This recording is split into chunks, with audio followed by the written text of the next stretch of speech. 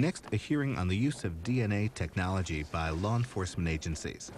The House subcommittee met today to hear about the availability and use of technology for processing such evidence.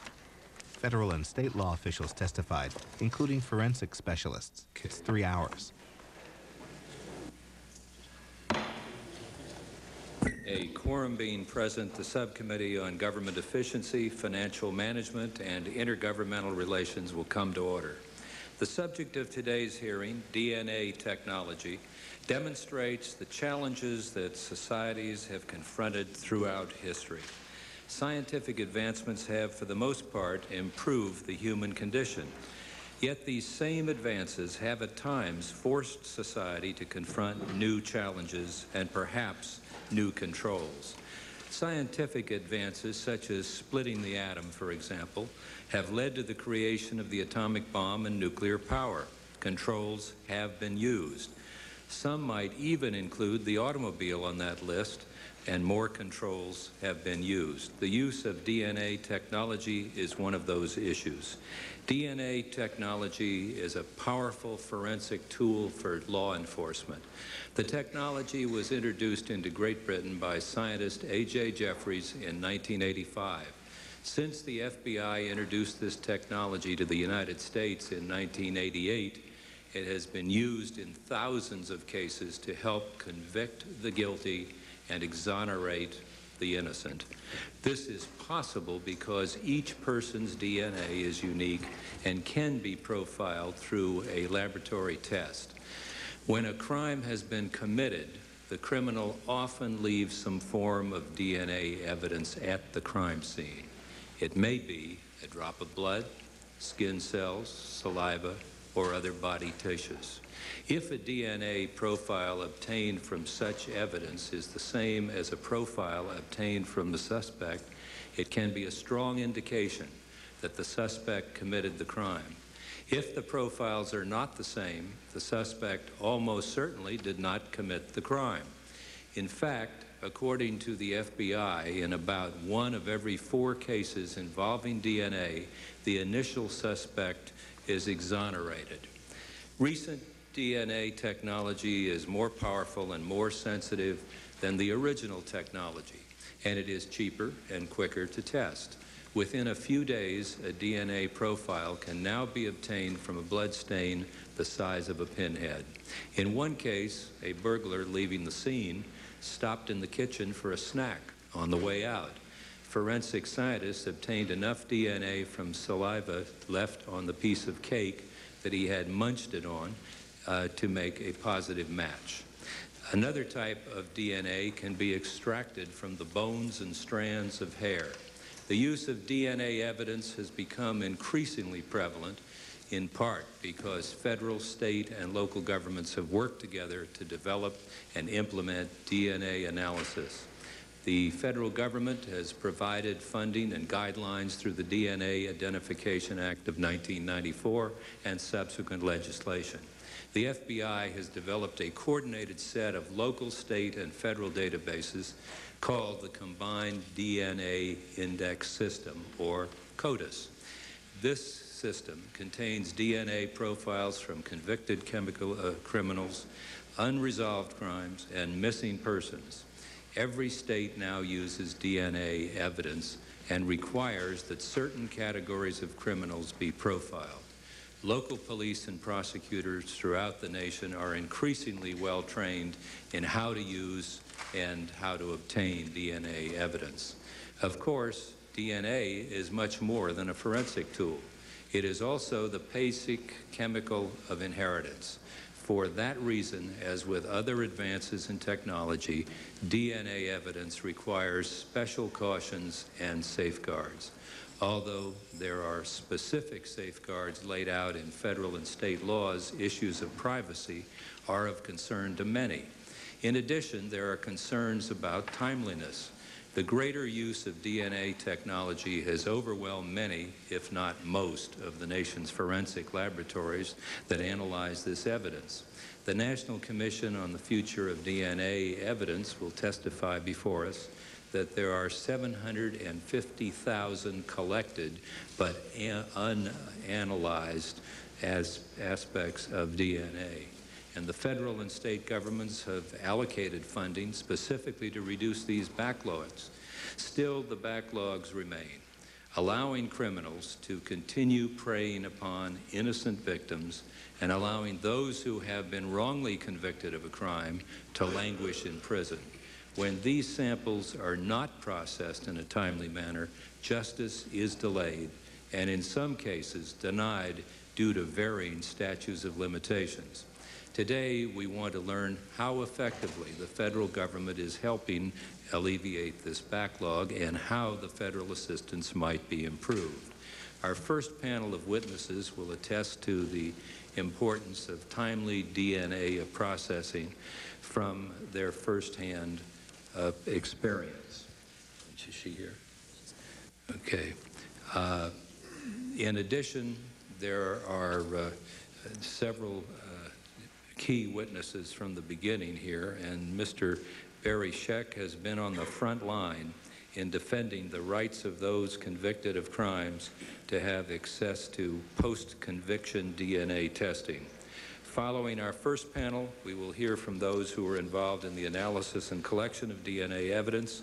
They will discuss their successes and the challenges that lie ahead. Uh, we welcome our witnesses. We look forward to their testimony. I'm now going to yield to the uh, gentlewoman from uh, New York. It was her idea to uh, have us take a look at this, and we're indebted to her and her staff who worked with our staff. And I'm delighted to have Ms. Maloney and opening statement. Uh, Thank you, uh, Chairman Horn, for agreeing to have this hearing. Our ranking member, Jan Schakowsky, is on her way and will be here uh, shortly. I, I think that uh, DNA evidence is one of the most important crime-fighting technologies ever developed, and I am delighted that we will have the opportunity to examine this issue today. I would also like to thank all of our witnesses for taking time for their busy schedules to come here today. We are blessed to have a, a wealth of knowledge available, and I look uh, forward to hearing from each of you. I would especially like to mention two of my constituents who are here today. Uh, Barry Scheck, the founder of the Innocence Project. Uh, under his leadership, 88 people have been exonerated, and he has worked uh, selflessly to develop uh, policies and standards to bring more fairness and justice to the system. Another important leader is Keith Kenneth Coonrod, chair of the Consortium of Forensic Science Organizations. I thank you for all that you are doing and particularly for your strong work in New York. Today we will hear plenty about how powerful DNA technologies have become. We will, we will hear plenty about the magical powers of DNA, that DNA can be extracted from a drop of blood, that the chances of a solid DNA profile match being a coincidence can be one in a trillion. But I want to talk this morning about what this really means. DNA technology means that rapists and other violent offenders will not get away with their terrible crimes, even when there is absolutely nothing else to go on. A strand of hair, the bottom of a used stamp, or even DNA taken off of a victim's bruise can be used to catch and convict criminals. This means so much to so many victims of rape and violent crime all across this nation. Just this last month in my district in New York City, police finally arrested a rapist who had assaulted a young NBC producer on her way home from work. Although police had been unable to locate her attacker for well over a year, DNA found on the victim following the attack turned out to match the DNA of a previously convicted burglary offender. With nothing else to go on, solid DNA evidence helped break the case. Without DNA, this criminal would still be on the streets. This is what this is all about, solving the crime, putting attackers and rapists behind bars. With that in mind, I have a few particular things that I would like to learn today, and I hope that our witnesses will be able to address them in their testimony or during the question and answer period. Last year, Congress passed the DNA Backlog Elimination Act, designed to help states and localities collect and process DNA samples taken from convicted offenders. I was proud that Congress passed that legislation. Expanding the DNA database means that more criminals will be caught when the DNA they leave at a crime scene is matched against the database. I, I would like to hear how this program is working. This was a critically important step, and I am eager to learn from our panel how much impact that legislation is having from your experience on the state and local level. But what I would also like to learn is how well evidence is being collected at the crime scene and from victims immediately following a crime. This is a forensic uh, evidence collection kit. It contains all of the tools a professional needs to collect evidence from a rape victim. But many hospitals across the nation do not have these kits. In many places where kits are not available, forensic evidence is collected with nothing more than a cotton swab and a plastic bag. In many communities, professionals assigned the task of collecting evidence from rape victims have not been fully trained and opportunities to collect evidence are squandered. Also, when evidence is collected, many hospitals and communities lack the know-how of the resources to properly care for the forensic evidence they, they have already uh, collected. In the end, this means that even the most talented forensic scientist may have little to work with. No matter how big the database is, we can't fully recognize the benefits of the database without quality evidence. I am extremely interested in how we can ensure that evidence is collected and stored properly, and I hope that all of our witnesses will address these issues today. I, I thank all of our panel for coming, and I would also like to hear from you any ideas of where you think we should go in Congress, not only with the uh, the data collection uh, backlog bill, what are the next steps that we can be taking to help uh, law enforcement officials and innocent officials in jail um, uh, benefit from this uh, scientific evidence in DNA. Thank you very much for coming, and our ranking chairwoman is here, Jan Schakowsky. I uh, thank uh, the gentlewoman from New York, and we now uh, have the ranking member of this subcommittee, uh, uh, Ms. Schakowsky, and uh, the gentlewoman from Illinois. we look forward to your opening statement. Thank you, Mr. Chairman. I want to thank you for holding this hearing, and I want to thank Ms. Maloney for her leadership on this issue and for requesting our subcommittee to review this important topic. Reviewing the use of new DNA technologies is an area that we can work together in a bipartisan fashion to ensure strong oversight.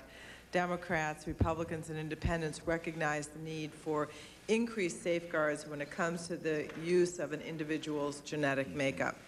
DNA can be a useful identifier in many situation, situations, such as in solving crimes, determining paternity, and identifying human remains. Today, we'll hear from a number of experts regarding how DNA technologies are being used by law enforcement agencies. In criminal cases, DNA can link or exclude a suspect to a crime scene.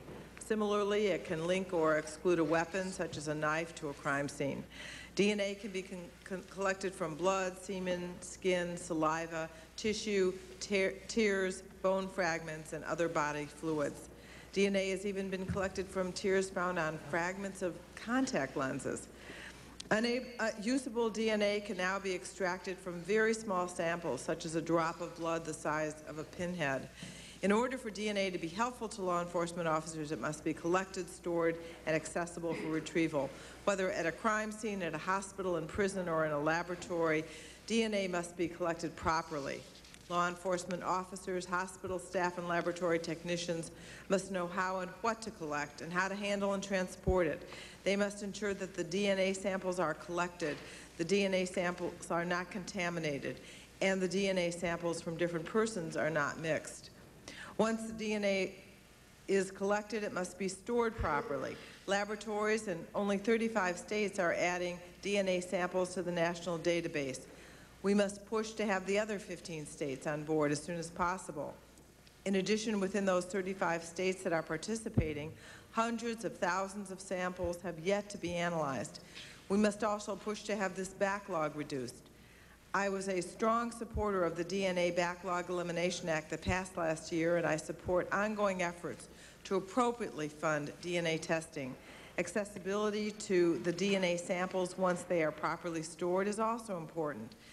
Unless every laboratory shares its samples with the national database, law enforcement officers in one state cannot review samples taken in another state.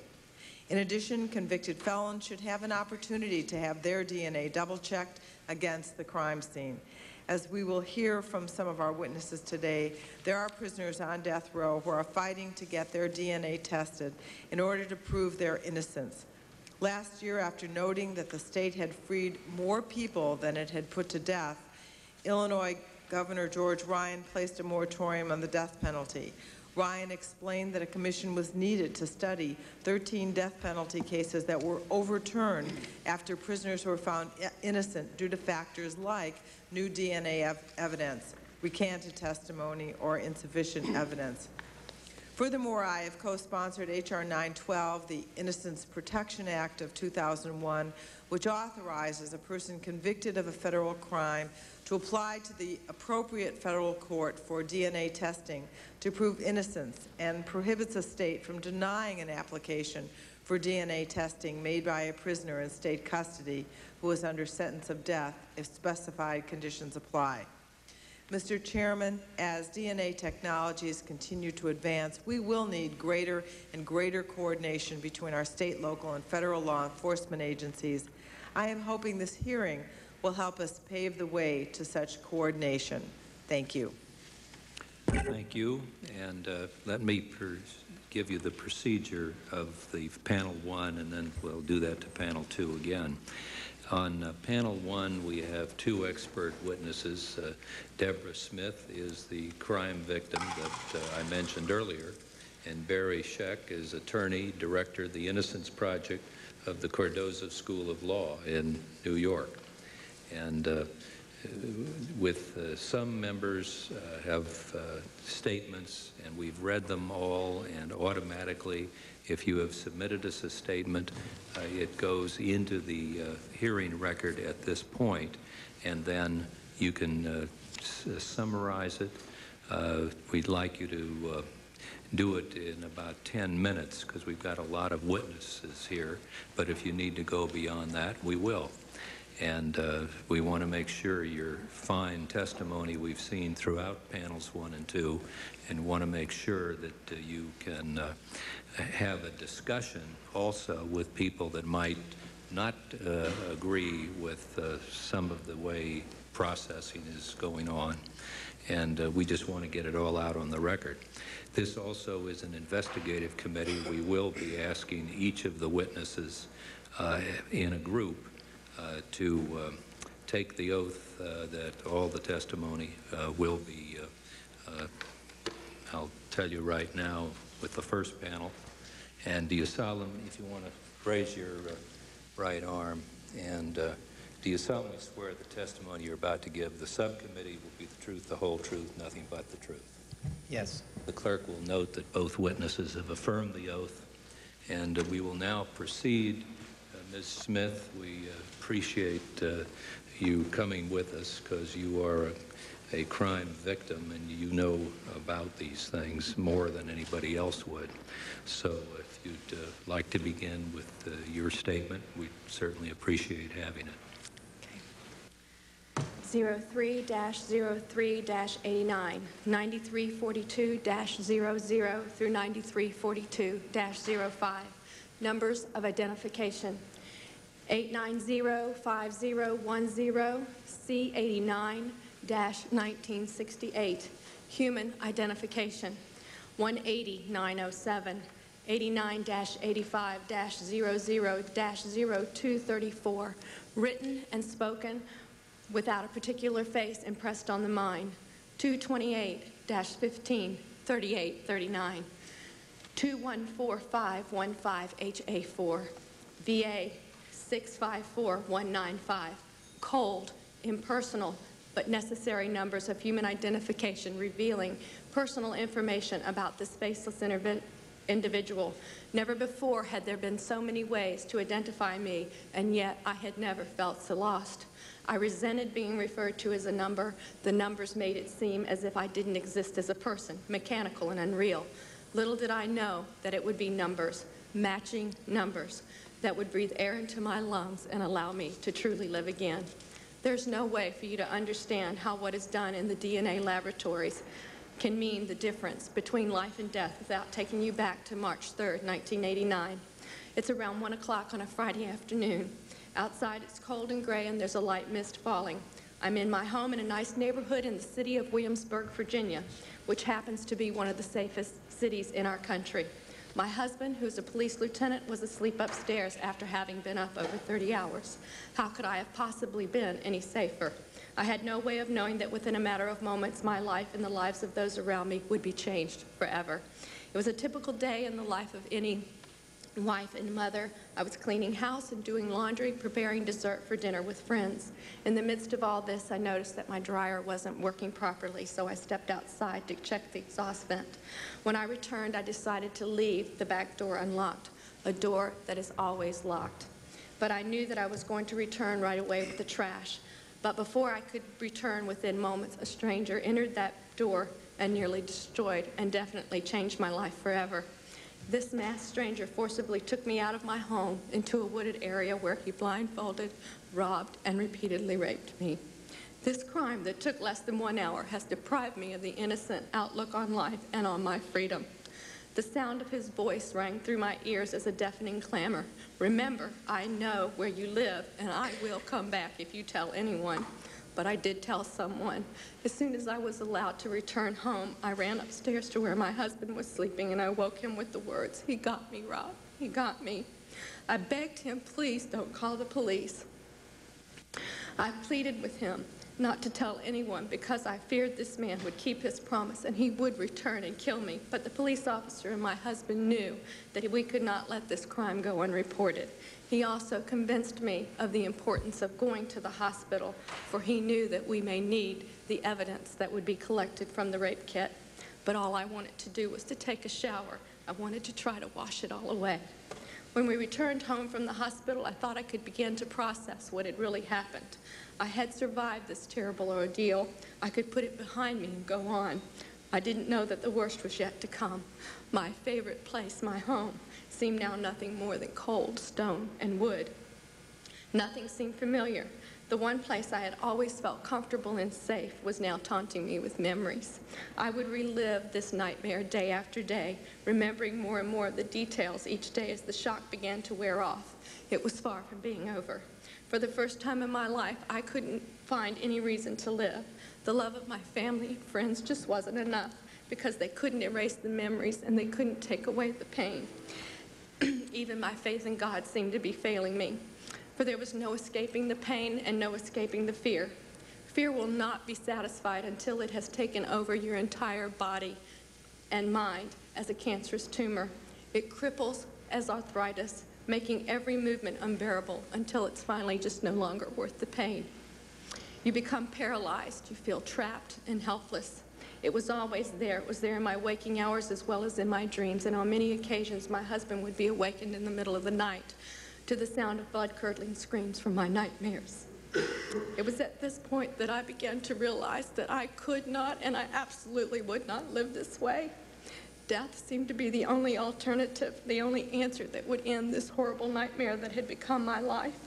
In death, there would be peace and there would be quiet, for I would no longer have to hear his voice in my ears or feel his arms around my neck.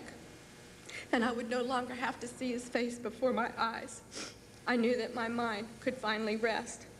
I planned the suicide in my head over and over, but there was one problem that there seemed to be no solution for, and that was my husband and two children, because I worried who would find me. And would they have to live in guilt, feeling that they had somehow failed me? I wondered what this would do to them, and I thank God that it was my love for them was, that was stronger than my need to rid myself of my torment. I finally grabbed onto this thread, and it became my reason to live. One of the most frequent comments that I heard after I was raped was, at least you're alive. But I can tell you that still today, that while I was alive physically, inside I had died and I was, and I was completely dead. I cursed my attacker, in fact, for leaving me alive to live with the pain. This intruder never laid a physical hand on anyone in my family, but when he left, he left each one of us a victim. He touched emotions in us that we had never known. Suddenly, there was rage in the eyes of my young son. My daughter was afraid to go from the porch to the driveway after dark, and each one of us, especially my husband, felt the awful pain of guilt. For he felt as if he could protect the whole city of Williamsburg, but was unable to protect his own wife in our own home. Our home, which had always been filled with love and laughter, had now become just a house full of bitterness, anger, fear, and guilt. But my family and I were not the only victims that day. Every person that touched my life or my family's life was to feel the effect of this crime. They too felt invaded and vulnerable. I could see the pain in their eyes because I was a constant reminder that rape can happen to anyone, anywhere. They were angry for me, and yet they felt helpless, for there was nothing they could do. Our minds and our bodies ached for understanding, and yet there was none to be found. I waited daily to hear the news that they had found this man that had changed our lives so drastically. I lived in constant fear of his return, hearing his words over and over in my head I know where you live, and I will come back, and I will kill you.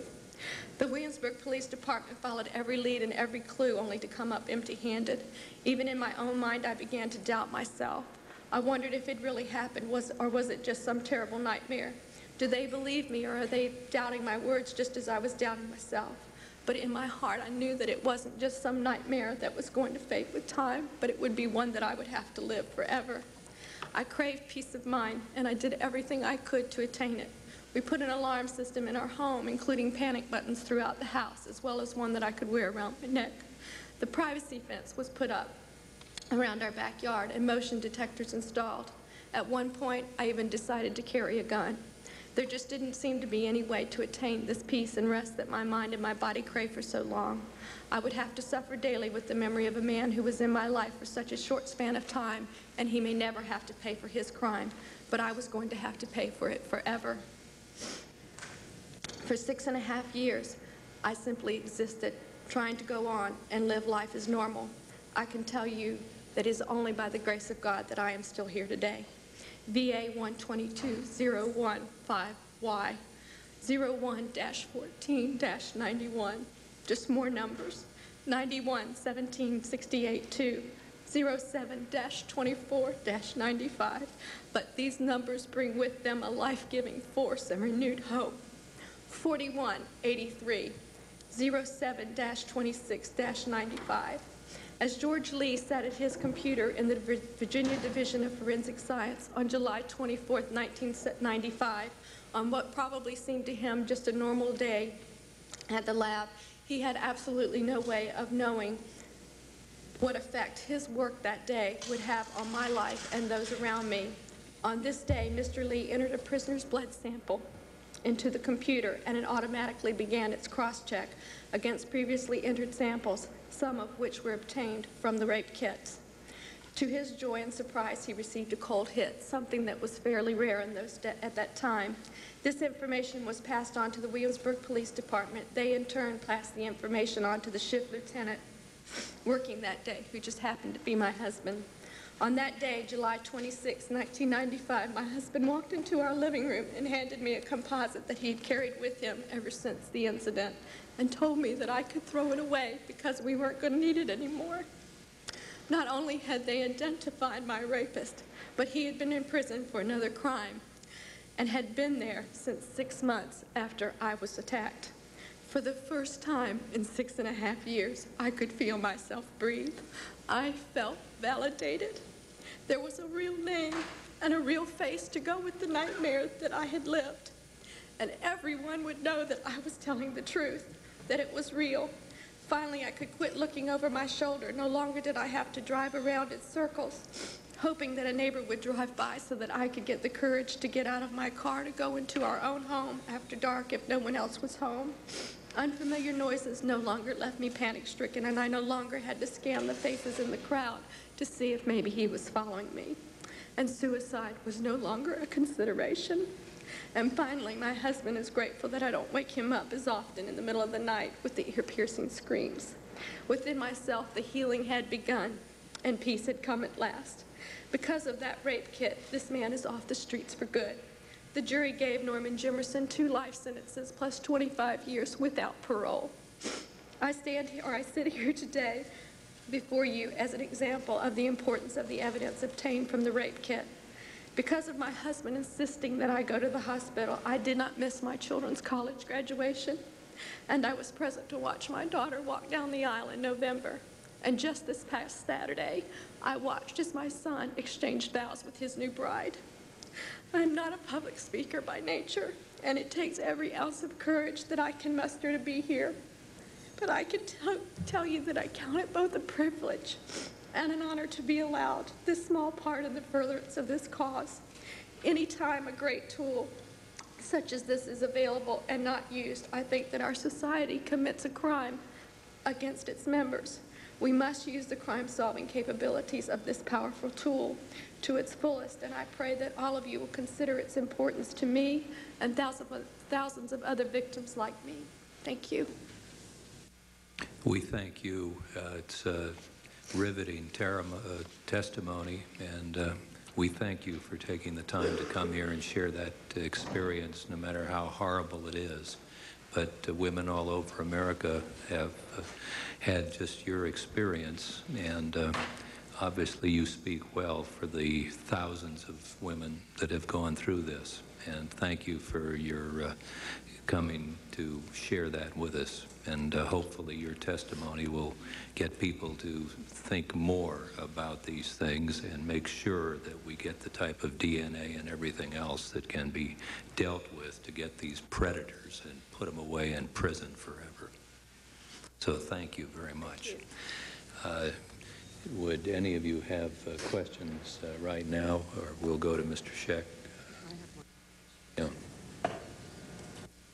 The gentlewoman from New York, Ms. Maloney. I, I uh, just on behalf of uh, women and girls all over the country, I'd say the world, uh, I want to thank you for your incredible testimony. It was very brave uh, and, and uh, very important that you are here today. Your testimony uh, put uh, meaning behind the numbers. It put meaning behind the numbers to show the human aspect, and that's tremendously important. And I know that many of us will be even more inspired to, to develop every single tool we can uh, to further protect people. One of your statements um, was uh, very important. You said that every time a rape kit is available and not used, society commits a crime. And yet, I believe that these rape kits are not in every hospital, nor are they uniform. And I'm, I would like to ask you, do you think every hospital and medical center should have one of these rape kits? And do you think there should be a uniform rape kits that would help our police officers solve the crimes? Absolutely. Because without the rape kit, we would have never been able to um, have the evidence that we needed to convict um, Norman Jimerson, because that was basically all we had, was the evidence from that rape kit.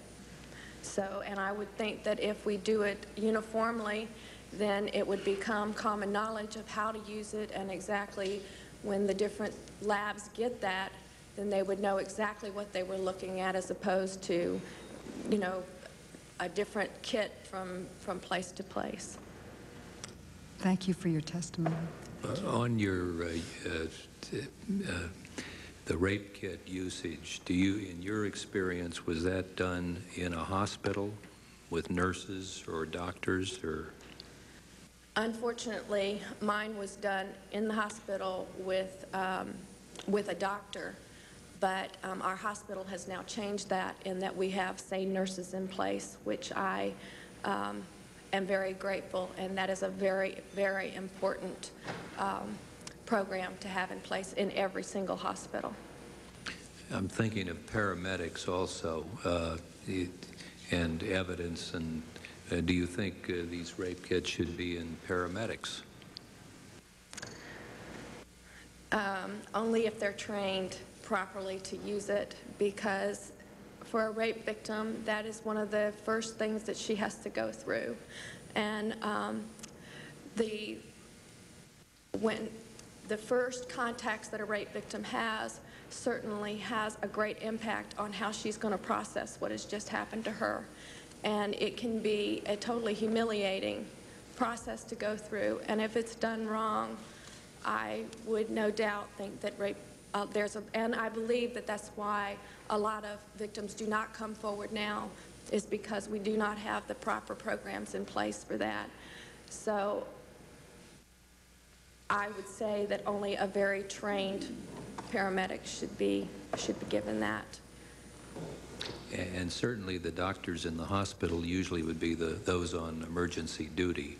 Uh, And um, I think the staffs on both sides ought to take a look at some of these hospitals, and are they educated on how to best utilize this? Because it's such a trauma that you're going through when you get rolled into that uh, uh, emergency ward. And um, I'd just like to know if ever in medical school they teach people about these things, because they're frightening. Uh, Is the predator that went after you, uh, what's happened? Is, He is, he is in jail, uh, or in, in the Red Onion Prison, and um, he has been given two life sentences and plus 25 years with absolutely no chance of parole. He does have an appeal right now, but um, there doesn't look like there's any chance that anything will come of that. well, it's good to know he's behind bars, that's for sure. Thank you. Yeah, the gentlewoman from Illinois. Thank you so much for your testimony, and I know it took a, a lot to do that, but hopefully it will result in having contributed a lot to changing it. But I wanted to, to ask you, you said that um, you, all you wanted to do was take a shower and, forg- I don't know, not, not really forget about it, but yeah, wash it away. Um, and um, your husband convinced you that it was important. Um, I'm sure that that is the impulse of most rape victims. Wondering if, as painful as it might be, if we need to do a better job of convincing whoever might be in this horrible situation just how very important it is and how, if you have any suggestions, we might be able to communicate that at that terrible moment that the right choice is to go to the hospital and make sure that that DNA, that that evidence is collected. I think that, of course, education is, is the primary, um, would be the primary uh, factor in that. And uh, yes, I think that that is very important. And I think that that's one thing that the SANE program, which is sexual assault nurse examiners, do that because in the um, um, in letting people know that that program is available, it lets people know that not only if you are sexually assaulted, that it's a one-on-one program where a nurse collects the evidence, that it also, if, if the rape victim herself does not hear that, then maybe her friend or whoever it is that she goes to will know that and that they can prompt her or take her or, you know, convince her to go and, and have this done. Um, and it, it is only education, and that is one reason why we decided to go public with this, is because rape is not something that, that the um, um, victim should feel guilty of, but yet it is the one crime that the blame is placed on the victim. And that's one reason that we decided to be public with this.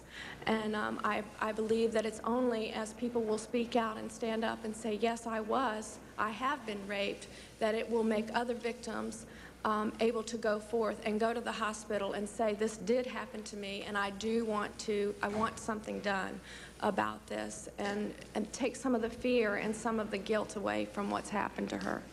I wanted to ask you a little bit about this, the, the sense of guilt and the fact that you said um, that you felt like now you were vindicated and that you were really believed. Was there reason for you, objective reason? I understand there were a lot of emotions going on, but were you made to feel that maybe it wasn't true? Were you interrogated in such a way that you, you felt that this really, they, that someone believed that it hadn't happened or? Um, Not really. It was um, just basically something that we all, as victims, we all, you know, tend to second-guess ourselves. But uh, one of the things that did make me feel that way was the questions that were asked to me. I was asked the same questions over and over again. They were just phrased a little differently, and I felt as if they were really not believing what I was saying. They were trying to, you know, kind of trip me up to catch me in a lie, is what I felt.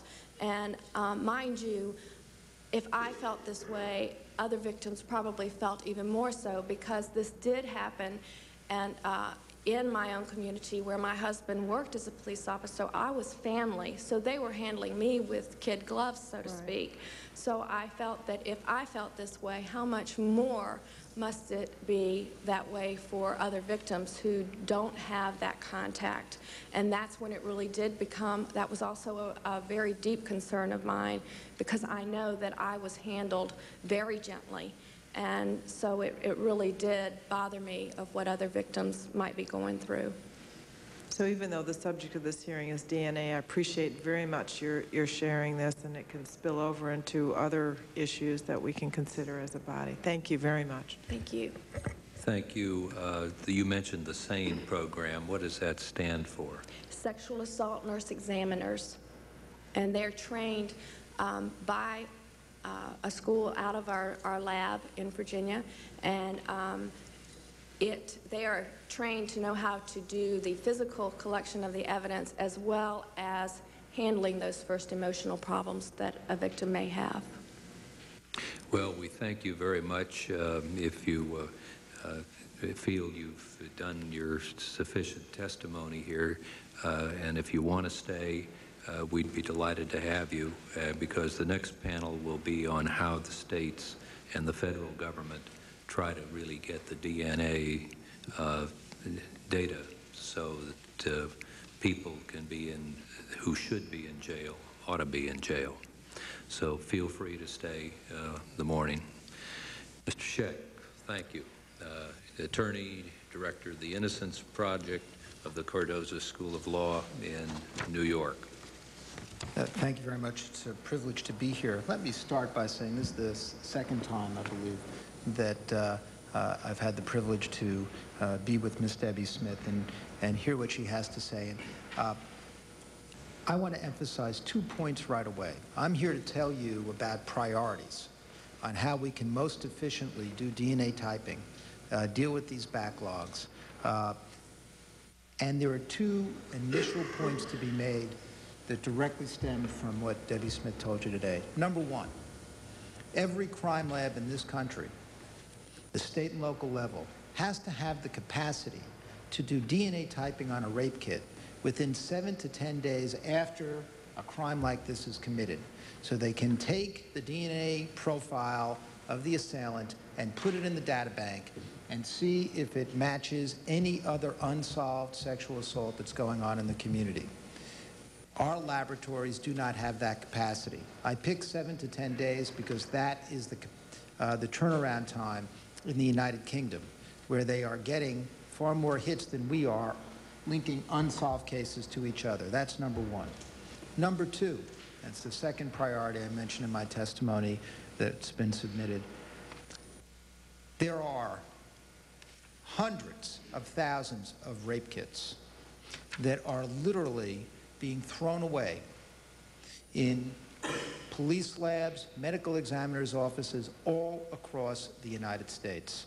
Our National DNA Commission had a survey done, a, frankly, a quick and dirty survey, and I mean that no disrespect to the people that did it, uh, that estimated 180,000 untyped sexual assault kits, rape kits, throughout the country, but it is no doubt an underestimate. And literally what's happening is that these cases are not being typed.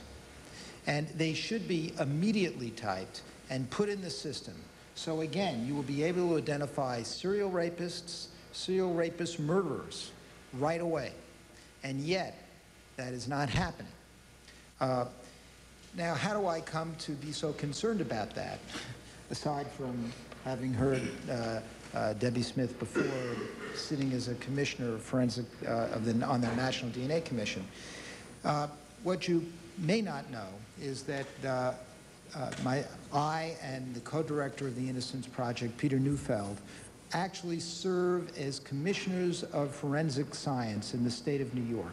New York has a unique body called the Forensic Science Review Board. It's an independent group of professionals um, and crime lab people and judges and police officers that regulate our crime lab. We passed this bill six years ago. And so we officially regulate our crime labs and regulate the DNA data banks. And what I discovered wearing the hat as a commissioner of forensic science is that in the New York City Medical Examiner's Office alone, which just governs New York City, we had 25,000 untyped sexual assault kits, cases just like Debbie Smith's. And literally what would happen is that when the five-year statute of limitations would run, they would throw away the rape kits. And I went to the then police commissioner, uh, Howard Safir, uh, somebody that Peter Neufeld and I sue on a regular basis in police brutality cases. And, With good uh, cause. we sue him. We represent Abner Louima, and uh, uh, who's a, a crime victim. So I said, listen, Commissioner, you must stop this. And to his great credit, he said yes. Now, that was three years ago. And uh, he immediately put out for uh, uh, bid, trying to outsource it to private labs because our state and local labs didn't have the capacity, an effort to type these 25,000 rape kits. And even in the most aggressive effort in the country to deal with this problem, we've only been able to type 8,000 to this point in time. All right? But one of them uh, is a, a, very interesting case that I think has been noted by others, is that we had this terrible sexual assault uh, uh, that I think uh, uh, Congresswoman Maloney mentioned of a uh, producer that was literally in the, in the, middle of the day dragged into a vestibule area at Rockefeller Center near the NBC studios and sexually assaulted. The assailant in that case, uh, we were able to get his DNA, even though he was out on parole or probation, uh, type it, put it into the data bank, and he was apprehended. And, and I'll explain why that matters. What I'd like to try to quickly go through with you are priorities. This is a subcommittee, part of a larger committee, that's talking about efficiency in government. We can throw a lot of money at this problem, and we should. We need, we are woefully underfunded on the state, local, and national level in terms of capacity to do DNA testing. But it is critically important that when we do this funding now, because we're never going to make up all the demand for this, we do it intelligently so that we can prevent uh, uh, crimes from being committed by apprehending the guilty assailants quicker. We can prevent innocent people from being arrested, tried, convicted, or, God forbid, executed, and there's more than enough evidence of that, um, in a very efficient way. And we need your help because some of the people that are about to testify before you, whom I've known well and worked with for years, are in bureaucracies. And they have their own uh, uh, problems dealing with all kinds of officials and all kinds of pressures put upon them. And I come before you, a law professor, right, um, uh, a criminal defense lawyer, uh, somebody that uh, serves as a commissioner, a public official, and I must tell you that uh, I don't know anybody anything, right? So I think I can speak uh, pretty directly to some of these priorities, and I, I ask you to query my friends carefully about them and see if uh, see why they can't uh, uh, better produce on these things. So number one priority, number one priority, you must have the capacity to type samples in rape cases and murder cases and frankly burglaries and other cases where you can do it right away within seven to ten days after the crime is committed. And what, what you must worry about is millions of dollars are being put into reducing backlogs is that you do not impair the capacities of the lab. Indeed, you have to get these labs to type the new cases right away. Because I've seen this before. You know, clean up this backlog of somebody that's sitting in jail for the next 20 years, a convicted offender. It's important to type that sample, that's true. But the person is in prison. right? It's more important to make sure that the sample is typed in the case of the victim, right? So that can be put into the database and we can see if it's somebody else. I'll tell you about a case in New York. Uh, we had a serial rapist 17 cases were connected to each other. It wasn't immediately apparent to investigators that all 17 cases were related. It turned out that uh, this particular serial rapist usually wore a mask. And so, in most of these cases, the assailant couldn't make an identification or even give a description for a sketch. In one of the 17 cases, and we only knew they were related because we had DNA on unsolved cases right after it was committed, 17 of them. In the 17th case, the victim was able to pull the mask off the assailant and give a sketch that can then be distributed to police officers, and this was instrumental in leading to this man's capture. So you can see it is a powerful investigative tool. That's its power. So number one, you must not, under any circumstances, uh, impair the ability of these labs. Fact, you need to empower them. They don't have the capacity right now to do the new cases. That's number one. Number two, we have to deal with these old unsolved cases, these rape kits before they're thrown away. Incidentally, there is legislation uh, being proposed in state after state. There's a simple way to do this to prevent the statute of limitations from running. You go into court, but first of all, you should pass a statute in each state that says, and they're doing it, uh, you can get a John Doe warrant against a DNA profile of an unsolved case where somebody has committed the crime. And that tolls the statute of limitations. So if the statute of limitations is five years or seven years, as long as that John Doe warrant is on file, you can pick that, that person up and prosecute them later. The model bill which I submitted to you, I believe, is one that uh, uh, Uh, Speaker Sheldon Silver has proposed in New York because it helps with the backlog issue. What, we, what Speaker Silver proposed is you can have, get this John Doe warrant, and we'll extend the statute of limitations a year or two, but we'll also give additional money to our laboratories to type these unsolved rape kits before the statute runs. Okay, it's a much better idea than just abolishing statute of limitations, which frankly serve good purposes uh, to prevent people from being prosecuted on stale evidence. It shouldn't be infinite, but that's the way to do it. So we have these unsolved rape kits, unsolved homicides before the advent of DNA. We can go back now and get blood stains, hairs, all kinds of evidence, type it, and solve unsolved homicides. So that is a key priority. A third priority ought to be post-conviction DNA testing. Now, as uh, Congresswoman uh, Schakowsky noted, there is this Innocence Protection Act sponsored by uh, uh, Delahunt and LaHood here in the House, and uh, I think a number of you are sponsors of that, and also in the Senate by uh, Senator Leahy and Gordon Smith. And I urge you to get this legislation passed this session. What it's going to do, in just one of its uh, provisions, is mandate any state that wants to be part of the DNA data banking system, and every state gets money, and every state wants to be, would have to pass a statute that said that an inmate has a right to get post-conviction DNA testing if it would raise a reasonable probability that they didn't commit the crime. Two states had this bill five, six years ago, New York and Illinois. It's not a coincidence that New York and Illinois have the most post-conviction DNA exonerations. Now we have bills passed, good bills in California, in Arizona, in Oklahoma. Frankly, there have been some bad bills passed. My aunt, Florida, passed a bill, uh, was just signed the other week. The bill says, okay, you can get a post-conviction DNA test, but you have two years to do it.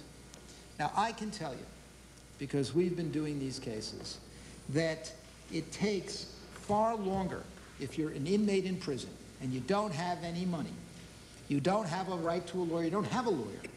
You have to get transcripts. You have to find the evidence. 75% of the time the evidence is lost or destroyed. You have to make a proper presentation in court to get the DNA test under this statute. There have been 10 people exonerated from death row with post-conviction DNA testing. All 10 of them would have been dead under the Florida bill because they couldn't get the resources to make the application within two years. It's great to pass the Innocence Protection Act, but it's an unfunded mandate. What we have to have is um, allocation of resources um, so that we can get some of these people into court so they can get the DNA testing to prove their innocence. And I want to emphasize that in so many of these cases, once we find the convicted offender, we also find the real perpetrator, hopefully before that perpetrator commits more crimes. I call to your attention, uh, uh, uh, Mr. Putnam and others, Florida. We've only had one post-conviction DNA exoneration in Florida. Frank Lee Smith, an inmate on death row, died trying to get the DNA test because under Florida law, he couldn't go into court to get the DNA test. The prosecutor denied the DNA test, refused to give it to him. He died in prison of cancer. The defense lawyers, we had maintained that there was a serial murder rapist named Eddie Lee Mosley who committed the crime that Smith had been convicted and put on death row for committing. The day Al Gore conceded, they leaked the fact that our friends at the FBI had done a DNA test after we had preserved the samples and prevented them from being destroyed, showing that Frank Lee Smith was innocent and Eddie Lee Mosley had in fact committed that crime. Some very wonderful detectives in the Fort Lauderdale area began developing evidence in another case of a man named Jerry Frank Townsend. He had pled guilty, ultimately, to rape murders, five of them, all right, two actually in Florida, to avoid the death penalty. Been convicted of three, two others in Miami, he pled guilty to. All five were convicted by, were committed by Eddie Lee Mosley, this serial offender. He mentally retarded man, Jerry Frank Townsend, who confessed to these crimes that he didn't commit. And there's others like it. And these are cases where if earlier we had been able to look at these post-conviction cases, we could prevent other uh, crimes from being committed because frequently it is serial offenders. And uh, it's, it's a, a, wider set of victims. It's the victims of the crimes themselves and their families. And it's the inmates that are innocent and their families that are victims of all of this. Um, and we can't have these unfunded mandates. And I would suggest that we have a network of law schools now that are voluntarily coming forward, way overfunded. Come to our offices sometime. You'll see letters piled up to the ceilings that we haven't been even able to read.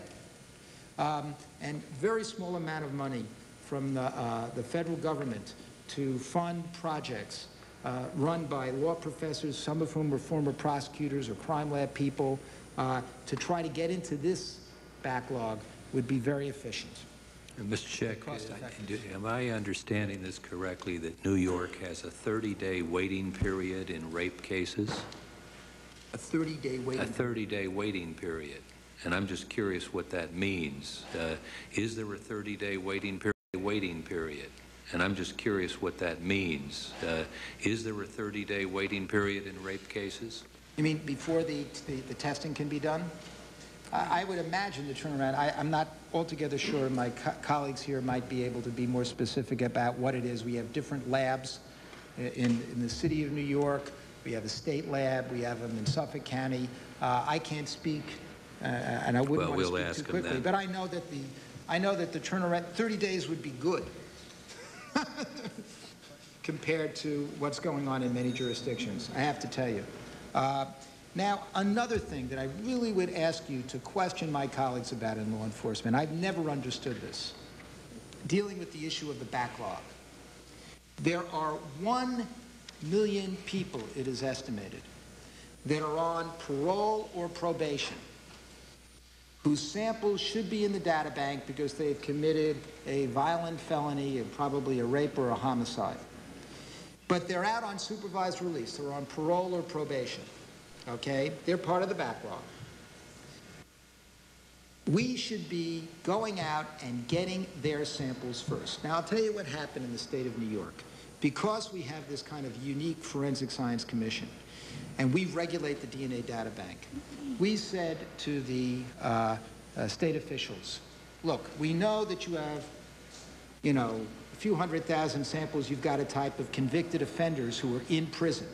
But we want you first to type the people that are on the street because they're the ones that pe- go out and commit the crime. So we want the people on probation, the people from parole tested first. And initially our officials came in and said, if that's too hard. It's much too hard because we have to go out and find them and we haven't trained our people. It's much easier to go into the prisons where they're already there and collect it from them. It's too hard. So we'll do those later. We said, no, no, no, you've got to do those first. Now, this NBC case is a good example. Some people were complaining that we didn't, uh, this man was not captured soon enough. But he had been released from jail, but he was forced to come in and give his sample because he was on parole. And that's how he was located. Uh, uh, you, you, you, it's one million people. Those should be the first people tested.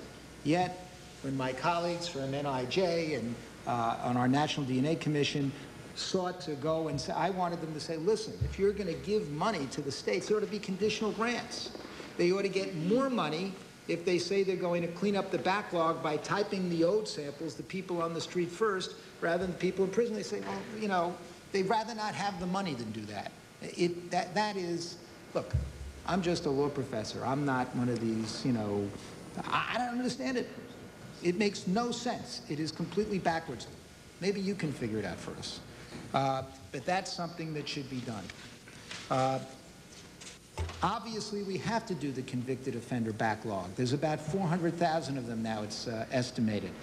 Uh, what we did uh, in New York is that when they first come in, we type them right away, right after they're convicted. But we certain everybody that's about to leave uh, is typed before they get on the street, and that makes sense. I mean, if you're to do it, you should do it intelligently. The last people to be typed, frankly, are the ones that are doing, you know, 20 to 40 years. First, get the people on the street. Another, and this would be my final point to you, uh, one of the things that I know uh, some of my friends at the FBI want to testify about, and uh, and I know you noted it in the uh, in uh, opening remarks. Uh, there is a new kind of DNA test called mitochondrial DNA testing. This is a, an assay that allows DNA to be taken directly from the shaft of the hair with the other kinds of DNA testing that we use for the data bank, the short tandem repeat STR, you would need a fleshy root of a hair. What we're finding is that microscopic hair comparisons is, in my judgment, junk forensic science. Uh, uh, repeatedly, uh, it, it, can be shown that uh, this kind of comparison between an unknown hair and uh, known hairs is, is flawed and wrong.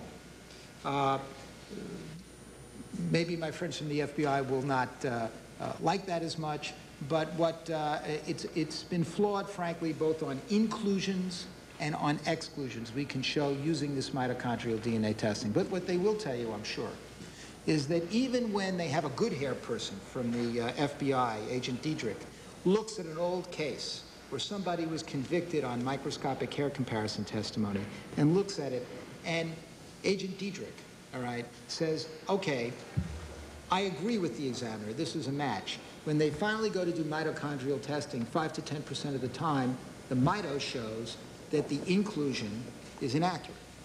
All right? So it is a, a, we now have the capacity to look at these hair cases. And what we found is that uh, when we, uh, when we calculated it for 74 of the post-conviction exonerations. Since our book Actual Innocence came out in February, there's an exoneration every 18 days, so, you know, I had to keep up with it.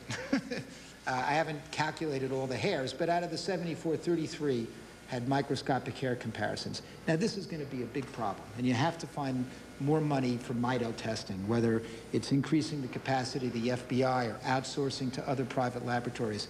Right now in Oklahoma, there's a scandal. There's a chemist named Joyce Gilchrist, who was known for being a forensic scientist of questionable repute, even by her peers. The FBI has gone in and looked at eight of her cases, and in five instances, were very troubled by the results. Now, in Oklahoma, 1,400 of her cases have been at first isolated, and there will be certainly hundreds that will have to be reviewed. The state of Oklahoma alone, just for Gilchrist cases, has allocated $700,000 to do DNA testing on these old cases to see if we can correct injustices. I am telling you right now that even though uh, uh, more attention should have been paid to Joyce Gilchrist as a forensic scientist, uh, this same kind of situation with the problems, the limits of microscopic hair comparison in old cases, it's in every state. It's in every state. And it is a comparatively more expensive test because it can cost presently uh, $1,000, $2,000 per hair. There may be ways that our friends will suggest of uh, funding some research to do some assays that are quicker screening procedures that will bring down the cost. But this is another priority that you're going to have to look at. So in closing, what I would really urge this committee to do is look for ways to uh, prioritize. Um, and, and, and we're not going to have as much money as is necessary, frankly, to do everything. But if you can do the new cases, you certainly can do the cases of these unsolved rape kits, do those right away. Right? That's basic justice. If you can do the basic justice of allowing these people who are rotting away in jail or on death row to get their chance to prove their innocence, which will also find the real perpetrator in many instances before they commit more crimes. If you go and get the old samples, the people that are on the street first, if you do all those things or find ways to stimulate our friends here to do it, uh, it would be a tremendous service and uh, really in the name of efficiency, which after all I guess this subcommittee is all about. Thank you. We thank you. Uh, Any of my colleagues, uh, the gentleman from Florida, have any questions? Thank you, Mr. Chairman. Gentleman from Florida. Mr. Scheck, you, you summarized it there at the end. If you would, please restate your prioritization, your hierarchy of testing. Begin with death row, next hit those people who are on the streets with parole probation. Is that, are those your top two? I would, I would, um, I would hesitate to, number one, and I, I really want to emphasize this, crimes that are now being committed. I mean, a, a, a victim of a sexual assault. There's no excuse for not typing that case right away to see whether or not it matches other unsolved cases that lead to the investigation and apprehension of that individual. We must make sure that the labs have the capacity to do that. And it would be a terrible mistake, and this is my fear, that in the name of cleaning up backlog, right, the labs don't have that capacity. So we have to make sure they have that capacity, and I assure you they do not have it now in various different states. Some states do. Florida is, is pretty good. Virginia has more capacity, but even in Virginia, uh, Paul Ferrara complains all the time that he has these problems with the new cases. So that, I'd say you have to make sure that you don't, that's done first. I would say the old unsolved, and I include within that the post-conviction cases, because in a sense of somebody saying, I'm innocent, please test my case, that's, you know, one that's in question. If a test could make a result, uh, make a difference in the case, and no DNA was ever done. Okay, so there's that class of cases, and these rape kits. Uh, the old unsolved cases. We, it, there's no excuse for not doing those right away. Then when you're going into the backlog issue, the first backlogs that I would do are the people that are on parole or probation. It's more important to get them. They're on the street. These individuals might commit new crimes. The statutes say their samples should be in the data bank. The states are going to say to you, administratively, it's just too hard to find my parolee, to find my probationer, and bring them back and have them just take a swab, a buccal swab, roll it in the, the mouth, if that's the method of collection, and give it to the lab to do DNA typing. I find that ridiculous. That's what uh, my very well-intentioned colleagues are being told every time that they approach the state authorities. Some people are even saying to them, we won't take your money if that's the condition. It's too hard. Okay, let me change gears with you slightly. What would you say to those who are concerned about the privacy issues? How would you deal with that aspect of this? Well, privacy issues is a coming concern.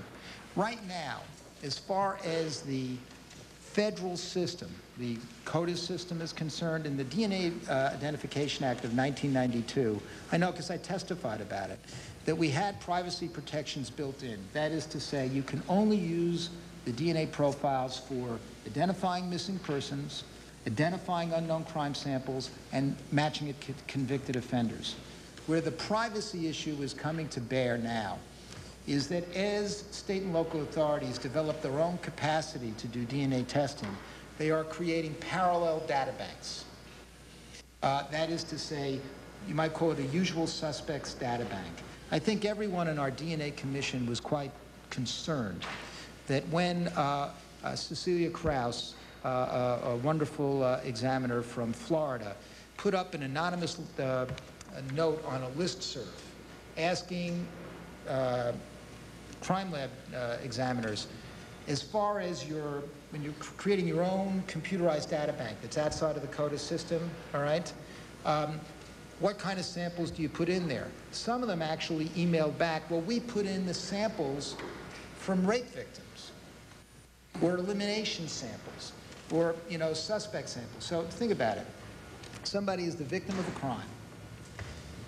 Uh, the sample is taken and put into a computerized data bank because the police think, well, maybe this victim, maybe she's a drug offender, or maybe it's suspicious, or let's just keep it around, okay? Now, I'm not saying, I think most sensible crime lab people don't, you know, are not engaged in this practice, but some were. That whole development of uh, state and local data banks is unregulated for the most part. There are no privacy restrictions built into it. And I think that we're heading for some real trouble there. Uh, and that uh, states really better get their act together and, and regulate that and put very, very strict privacy restrictions on it. Because I'm a, I'm a very big proponent of, of DNA testing and, and DNA data bank conducted correctly. But I think there is a healthy skepticism out there that if the government's got your DNA, God knows what they're going to do with it. And I don't think that sometimes our, my friends in law enforcement are acting in their own enlightened self-interest. They should put more privacy protections on themselves so that we don't have some kind of civil liberties disaster where you get a lot of opposition to this because people are fearful that insufficient privacy protections are in place. Unlike a fingerprint, DNA is the key to the kingdom. I mean, it is an infinitesimally more uh, informative piece of information about any human being. So to the extent that as capacity grows and technology catches up with the backlog and we begin to expand these to other crimes, where down the hierarchy from rapists and murderers do you take these DNA samples? Do you take them from forcible entries, suspects, and, and, and convicted felons, DUI offenders, juvenile offenders? Where in the hierarchy do you stop taking DNA samples? Well, I think that uh, uh, burglaries, I have to say, are a very important area to be doing DNA typing. And in truth, and I know some of the subsequent witnesses are going to talk about it, we really have to train law enforcement on how to collect the evidence correctly and make sure that they don't contaminate it because and get confounding results. But burglary is a very important area. In the United Kingdom, they really specialize in typing in burglaries. And so what you'll find is that a perpetrator might leave a blood at the, you know, the point of forced entry, might drink from this cup, right? And uh, in the course of the burglary, and leave the beer bottle or the cup there, and you can swab that, you can get the DNA pattern, and you can uh, find such offenders. And they do link up very often with even more serious offenses. So burglary is, is something to look at. Um, the more you expand the number of categories uh, that are included, the bigger the backlogs get. Everybody's going to tell you that right now. States are moving. At first, they were pretty much just limiting it to sexual assaults and murder.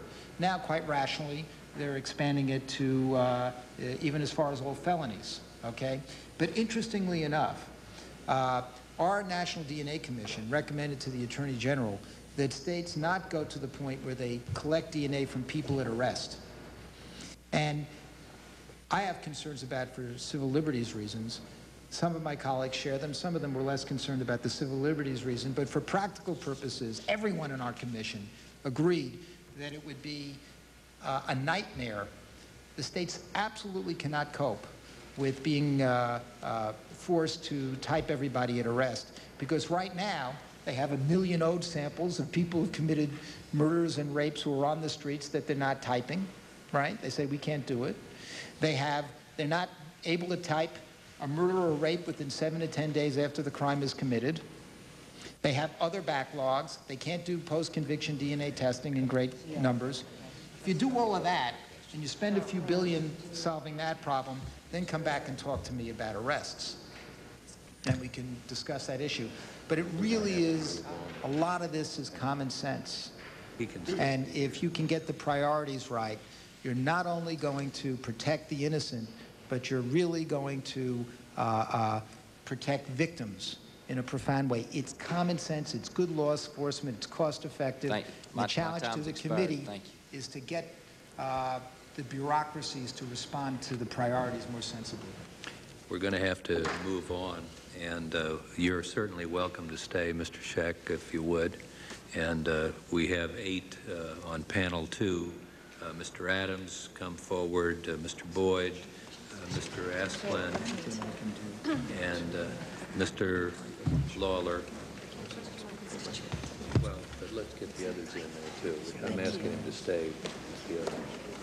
Uh, Mr. Coonrod, Mr. Down, Dr. Downs, Mr. Conley, uh, Mr. Lothridge.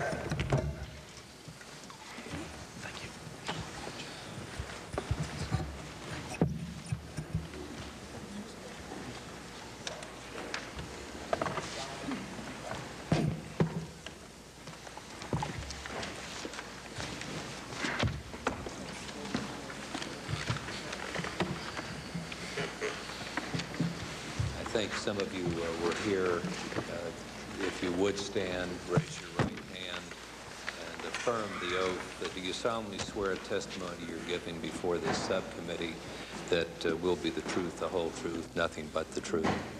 I do. Clerk will note that all of them have affirmed.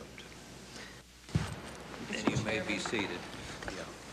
Is there, could we begin with uh, anonymous to pick up your questions from the Okay, Ms. Maloney, uh, we'll, we'll have to do it in uh, four minutes because these gentlemen have been waiting and uh, we need to move ahead. Yeah. I, I, I- I appreciate it, but I, particularly want to welcome him from the great state of New York, and I wanted to ask him, from your experience and your work, uh, Mr. Scheck, do you think that there is a need for a standardized victim uh, physical evidence recovery kit? Apparently, some hospitals don't have them, and there isn't a standard. Do you believe we need a federal standard?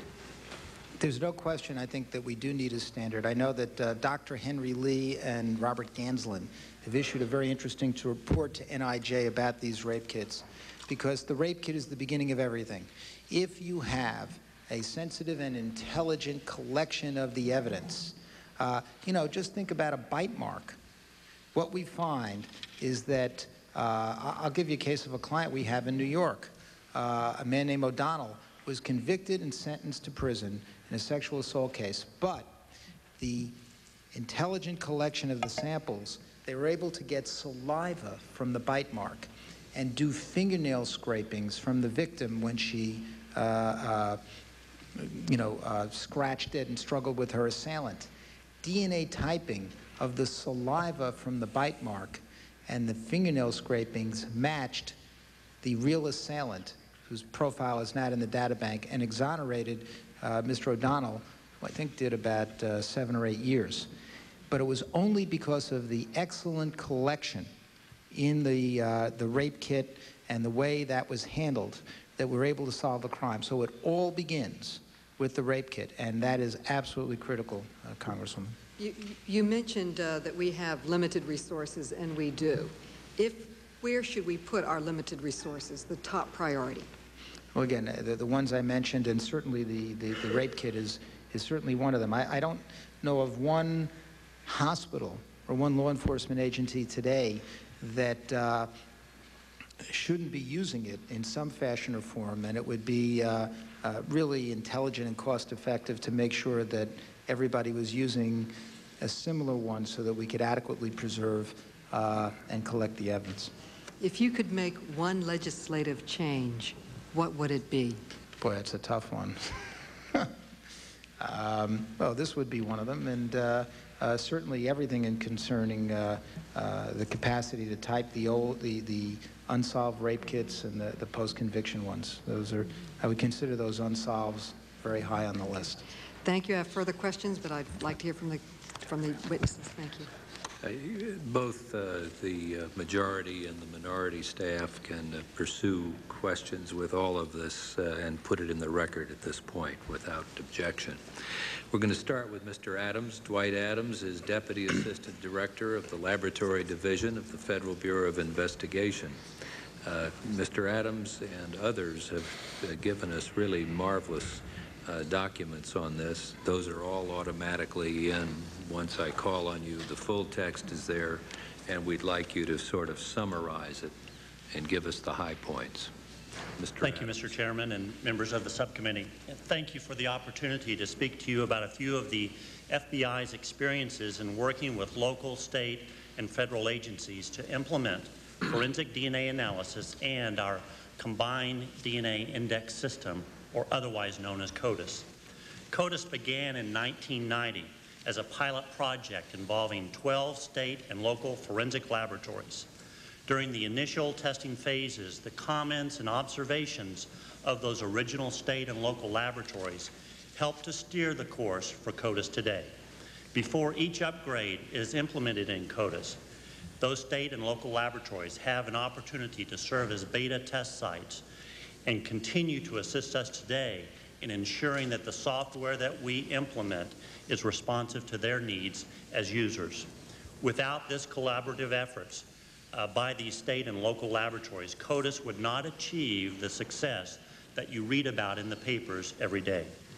CODIS is currently installed in 137 laboratories in 47 states and another 24 laboratories in 12 countries internationally.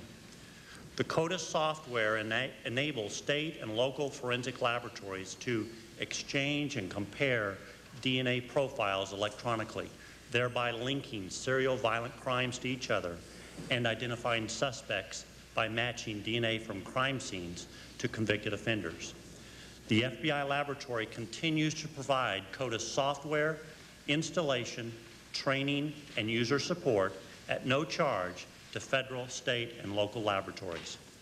The concept behind CODIS is to create a database of states' convicted offender profiles and use it to solve violent crimes for which there are no suspects. As you know, all 50 states have DNA database laws that cover a wide variety of criminal offenses. All states collect DNA samples from offenders convicted of sex offenses. The overwhelming majority of states have expanded beyond their scope of the original laws which covered just sex offenses. In fact, our research indicates that now only three states cover only sex offenders. I've attached a chart of qualifying offenses uh, by states to my written statement, and of particular note is the fact that 10 states are now authorized to collect from all of their felony offenders. And it looks like another state, Texas, will soon be added to that group. We believe that eventually all states will be collecting from all convicted felony offenders. So far this year, proposals to expand the qualifying offenses has been introduced in 30 state legislators, with well over half of these proposals to include all felony offenders. State legislation serves as another example of how federal and state agencies have worked together to implement DNA database programs. Beginning with the uh, issuance of legislative guidelines in 1991, the FBI laboratory has provided technical assistance in the form of briefings on CODIS, review of draft legislation, and testimony before legislative committees to assist states in enacting DNA database legislation. In order to plan for CODIS in the future, the FBI has observed the implementation of these database programs and in states and, and has learned from each of their experiences. We realize from the steady expansion of state laws that CODIS of the future will need to quickly and efficiently search millions of DNA profiles and provide a platform that is less costly and more easily maintained by both those participating states as well as the FBI. And we have been working toward those CODIS enhancements. For example, the University of Tennessee has been developing a matching algorithm that could search millions of DNA profiles in minutes. We could not have reached that point without the assistance of the Florida Department of Law Enforcement because it's they who test that new search engine for us. With the recognition of DNA as a powerful identification tool, as evidenced by its use in both solving and reviewing cases from past decades, DNA databases are becoming an integral component of law enforcement's arsenal. One final example of cooperation among local, state, and federal laboratories before I conclude, as well as a su suggestion for an area of future collaboration. As the PCR-based technologies were being introduced into forensic laboratories across the country, the FBI realized that standards would need to be established for this new technology, as had been done previously for the earlier technology. A criteria that is crucial to the proper use of DNA database implementation is the use of consistent technologies. We knew that we would have to establish core loci for the new technology in order for the national DNA database to be successful. The FBI convened a group of 21 federal, state, and local, as well as international forensic laboratories to validate what are known as the STR loci for use in CODIS. The FBI provided the samples and kits and reagents to all of these participating laboratories in order for them to validate the use of STR analysis. After many months of testing, the participating laboratories recommended 13 STR loci for use in CODIS. This recommendation was adopted by the FBI and is known as the 13 core CODIS loci. The future and yet untapped area that would significantly benefit the collaborate, from collaboration between local, state, and federal laboratories was mentioned earlier by Mr. Scheck. That involves mitochondrial DNA technology. Certain tissues like hairs, bones, and teeth have little or no nuclear DNA, but can often be successfully typed using mitochondrial DNA technologies. Biological evidence recovered from missing persons is often in advanced stages of decomposition with little or no nuclear DNA, but mitochondrial DNA can get results. After many years of research and validation, the FBI laboratory implemented testing using mitochondrial DNA in June of 1996. To date, we've completed nearly 700 cases. As its success and admissibility in, in the courts have grown, demands for its use have also grown but those demands exceed the FBI laboratory's current or likely future capabilities. Having anticipated the need for other forensic laboratories to develop their own mitochondrial DNA capabilities, we began a training program in 1998 whereby we were training state and local laboratories to use this technology. As you know, CODIS includes a missing persons index, which can match the DNA profiles using mitochondrial DNA results. This index, however, contains very little DNA data because the FBI laboratory remains the only public crime laboratory conducting mitochondrial testing. This is an area ripe for collaboration between federal, state, and local laboratories. One solution might be a nationwide network of six to eight state and local forensic laboratories that could provide mitochondrial analysis to the criminal justice agencies across the country. The FBI laboratory could provide administration for the network, train the personnel, and ensure audit adherences to the quality assurance standards. The FBI is committed to support the CODIS program and to continue these beneficial collaborations with federal, state, and local forensic laboratories in implementing DNA technologies. One last comment. You heard the very poignant testimony of Mrs. Smith this morning talking about how the use of DNA and the use of CODIS has brought her life back to her once again. That has happened countless thousands of times across the nation. But I'm here to tell you that there are also thousands and thousands of victims whose crimes have not been solved, but they have hope. They have hope because this technology is out there, it's being used, but it could be used more successfully. Thank you. Thank you very much. That was a very useful statement. We now have uh, uh, Dr. Boyd, delighted to have you with us. Thank you, Mr. Chairman, and thank you and the members of the committee for this opportunity to testify before you today. My office is the science and technology component of the National Institute of Justice, the research and evaluation arm of the Department of Justice. When NIJ first undertook to conduct research on DNA identification technology in the mid-1980s, it was a very new field, barely known, and not at all used in crime laboratories in the United States. Over the next 11 years, with a modest research and development investment of about $5 million, NIJ managed to fund, wholly or in part, every significant advance in DNA identification technology in the United States.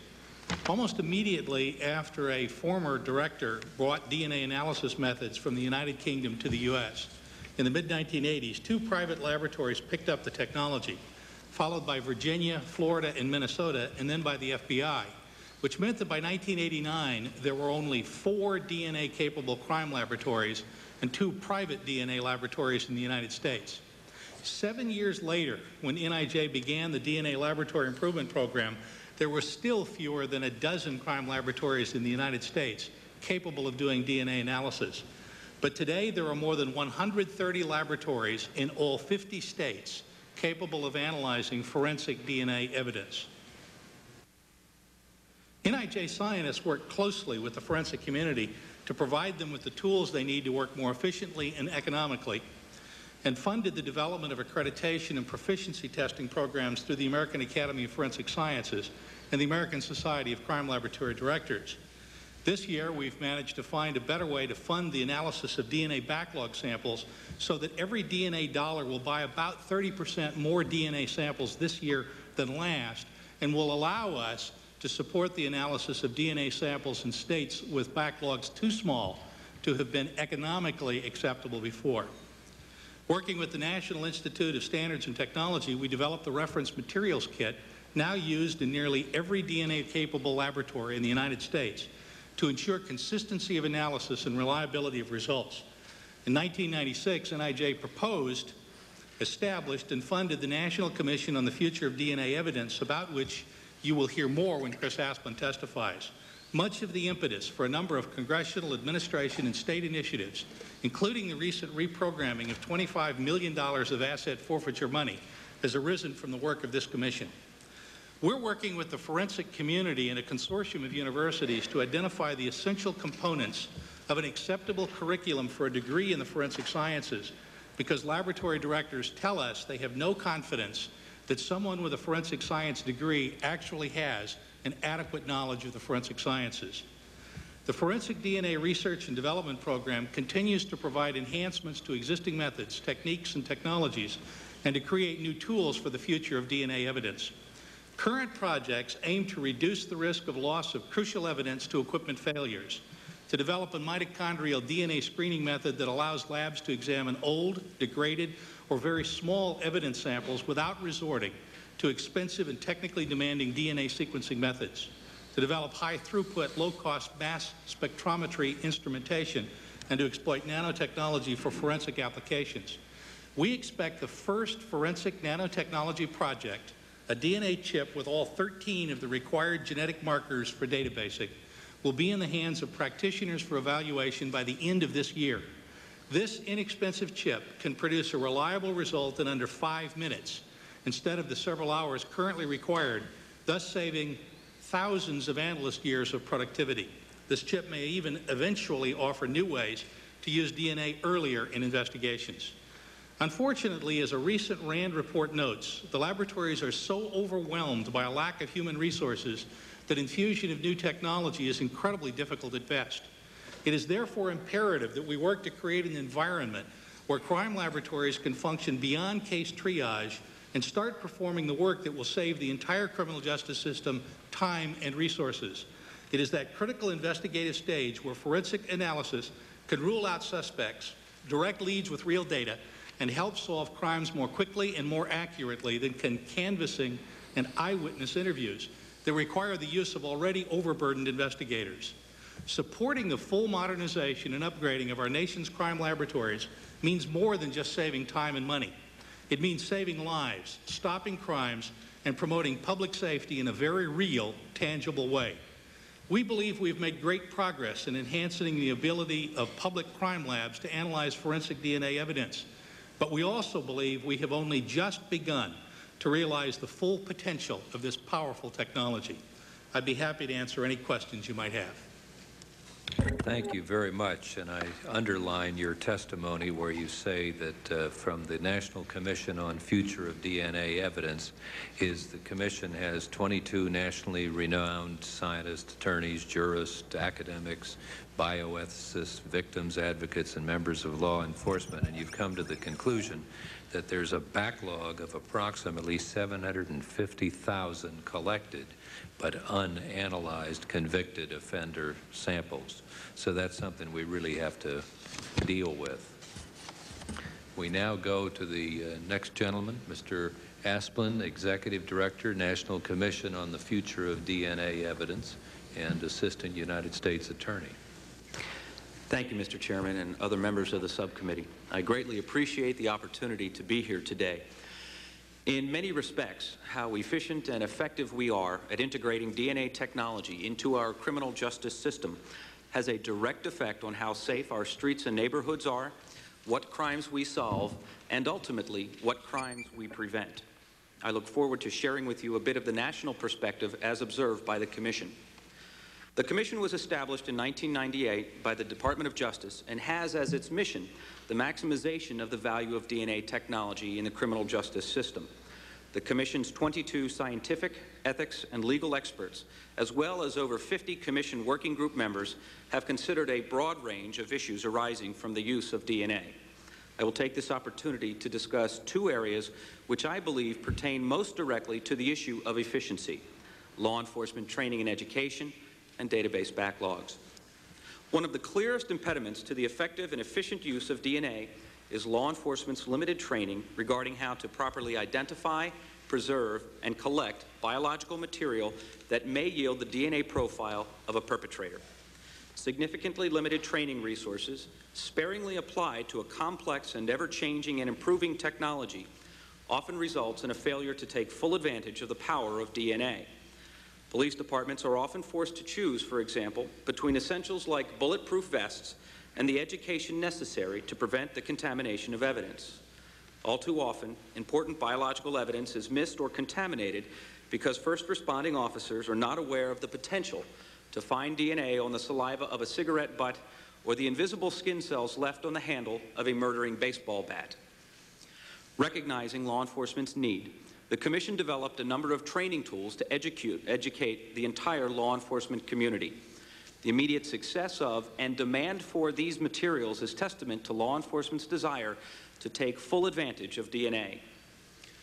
The first tool developed was uh, by the Commission was the pamphlet What Every Law Enforcement Officer Should Know About DNA Evidence. And this pamphlet will be provided to all of the subcommittee members and all the committee members, as well as the, uh, the CD-ROMs be put in the record at this point. Thank you, Mr. Chairman.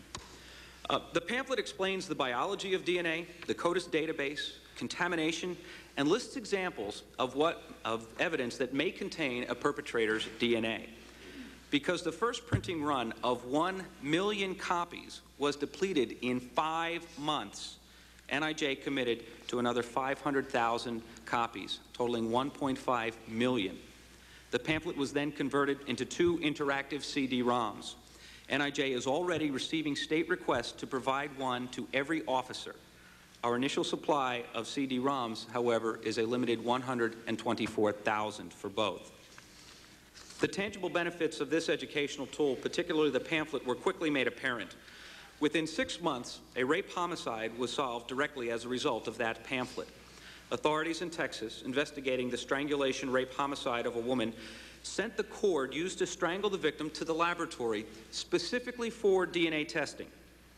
Now, while the cord would have been collected as evidence in the ordinary course of the investigation, this time it was submitted for DNA analysis because one of the investigators read the pamphlet identifying ligatures as potential sources of DNA. After a match to the perpetrator, it was determined that the suspect in an attempt to avoid capture by DNA, had worn a condom, not only a condom, but also rubber gloves. However, when struggling with his victim in the process of strangling her, one hand was required to hold her down while the other hand grabbed the cord wrapped around her neck. The only thing left to pull the other end tight enough to kill his victim was his mouth, thereby depositing saliva and thus his DNA on that cord. He was, he was subsequently linked to several other murders. The pamphlet's success is illustrative of two important points. The first is the tremendous need by law enforcement for these kinds of training materials.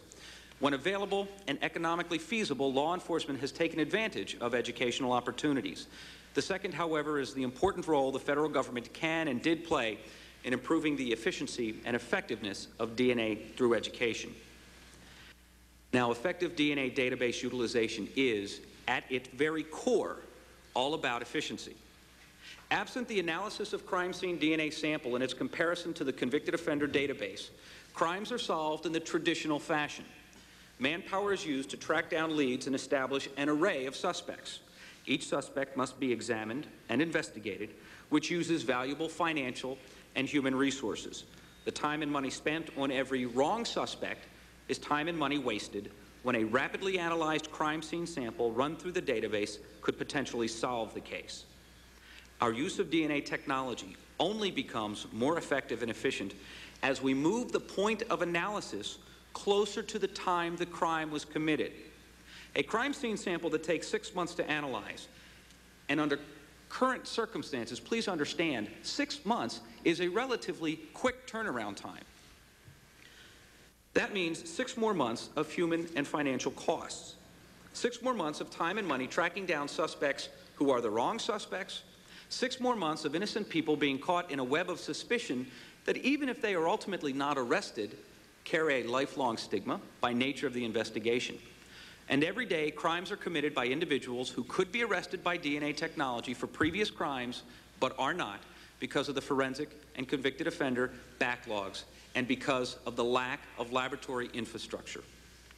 Our success at optimizing DNA technology will depend on our commitment to law enforcement and our forensic laboratories. The number of lives we save from victimization will be in direct relation to law enforcement's ability to identify, preserve, and collect the evidence and our laboratory's ability to quickly analyze that evidence and enter that profile into the DNA database. Again, I appreciate the opportunity to be here today, and I look forward to any questions that you might have. Thank you very much. Our next presenter is the Honorable Michael Lawlor, State Representative, Connecticut General Assembly, and coming here as the National Conference of State Legislatures. Uh, that's uh, all 50 states.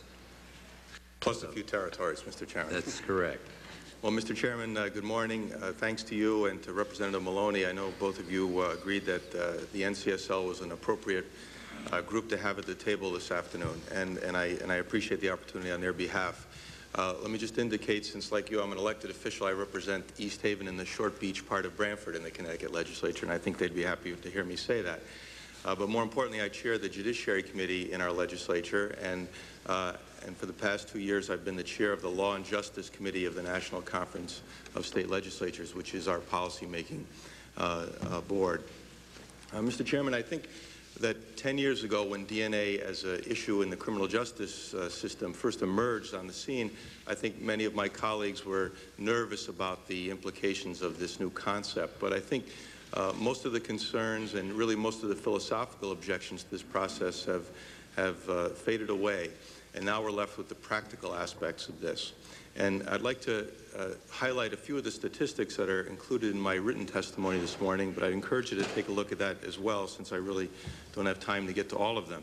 But as has already been pointed out, all 50 states since 1994 have uh, required that all convicted sex offenders uh, provide DNA samples to be cataloged. And in addition to that, 34 states require many other violent felonies, uh, persons convicted of many other violent felonies to provide samples. 26 states have a similar requirement for juvenile offenders. Uh, 18 states are now online with the CODIS system, as I understand it, and just last year, nine states have added a, a, wide variety of new offenses to the list of crimes, uh, convictions for which uh, require a, a, sample to be provided. New York, for example, last year went from 21 crimes to 107 crimes. And I think we've already talked about the practical implications of those policy changes. It's extraordinarily expensive and complicated to ensure that, notwithstanding the law requiring it, that the system actually does collect those samples and properly catalogs them. Um, and uh, in addition, uh, Alaska, Colorado, and Florida have extended the requirement to submit DNA samples to certain probationers, uh, with Colorado and Florida measures also adding burglary to the list of offenses for which a DNA sample is required. In uh, West Virginia, an enactment adds offenses that include extortion, involuntarily, involuntary manslaughter, burglary, counterfeiting, certain larceny and arson crimes uh, to the list. In New Jersey, uh, my colleagues have added homicide, assault, kidnapping, and luring offenses committed by adults or juveniles. And California will collect samples from qualifying offenders who were convicted in other states. And Georgia law expanded a list of sex crimes that require a sample. Other states made procedural changes in collection of samples, among them measures in Arizona, Colorado, Georgia, and Iowa, requiring that samples be collected from qualifying offenders before they are released from custody. And I think every state is, in, in essence, heading in that direction. And that's the important thing I wanted to emphasize today. Uh, and in particular, in my state, in Connecticut, uh, we've been collecting uh, samples from sex offenders for a long time. We're also blessed with the leadership of Dr. Henry Lee, who's already been mentioned here today. He has been the head of our uh, crime lab in Connecticut and is our former Commissioner of Public Safety and also of OJ fame. I think everyone knows Dr. Lee. But he has really been the spiritual leader for this concept in Connecticut, and he's convinced many skeptical colleagues of mine that this is uh, as important for victims as it is for offenders who may be wrongfully convicted. Uh, just last year, in fact, with this in mind, Connecticut retroactively extended backwards its statute of limitations for sex offenses, uh, reaching back 20 years to the advent of DNA as a technology um, to ensure that persons where these crimes were uh, reported in a timely fashion to the police, if they're apprehended now as a result of the DNA identification, the prosecution can go forward with or without a John Doe warrant. And I think that's an important uh, change. And at the same time, in the same bill, Connecticut made it clear that we would no longer have a limitation on a request for a new trial where the basis for that request is new DNA evidence. In other cases, there's a three-year limitation on the time uh, for which people can request a new trial after conviction. This year, Connecticut considered, and our, and our session has just ended, but this year we considered extending the requirement of collecting DNA to all convicted felons, which has been discussed earlier. That unfortunately fell by the wayside. It's a tight budget year in Connecticut, as it is in many states. Uh, but our fiscal note on that proposal indicated it would cost uh, $552,000 to test just the 4,700 offenders currently incarcerated in our state. Uh, and that's a half a million dollars we just didn't have to spend. It may not seem like a lot of money to you, but in a tight budget, uh, which we're experiencing in our state, and that's Connecticut, the wealthiest state in the nation, it's, it's actually a problem. So we would welcome some federal assistance in that regard. Uh, Mr. Chairman, the jurisdiction of this committee is intergovernmental affairs, and I think that is a topic that the National Conference of State Legislatures is very concerned about. And I wanted to mention a couple of considerations which I hope you will make as you consider the, the concepts being discussed today. First of all, uh, keep in mind uh, that flexibility uh, ought to be the hallmark of any uh, policy change on the federal level, such as the ones that are being discussed today. Uh, keep in mind that sex offender statutes, probation, parole, the concept of juvenile, uh, all have different meanings in different states. So when persons talk about parole in Connecticut, it's a very, very different concept than when it's being discussed in New York, just for example. In Connecticut, Juveniles are persons under the age of 16, but we're one of only three states that treats all 16-year-olds as adults. And when federal mandates uh, treat, uh, have a one-size-fits-all type, uh, uh type uh, mandate, uh, then that does create unanticipated and unintentional problems around the country. In Connecticut, for example, doesn't even have county government at all, and many of the proposals here talk about funneling money to the county government level. Uh, and, and in many states, prison has a different concept. Uh, in Connecticut, we have no county jails. We only have a State Department of Corrections. And so uh, mandates, well-intentioned, tend to confuse things on the ground level. I point out in recent years, uh, in juvenile justice reform proposals, in the end, uh, the differences that each state has in, in designing its criminal justice system have been taken into account. I would only encourage you to do that in this regard.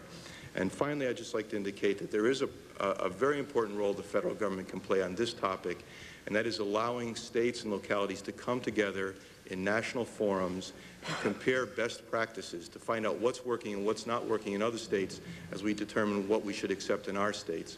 And just as important when it just as important as the DNA technology and how to apply it to convicted offenders is the issue of privacy.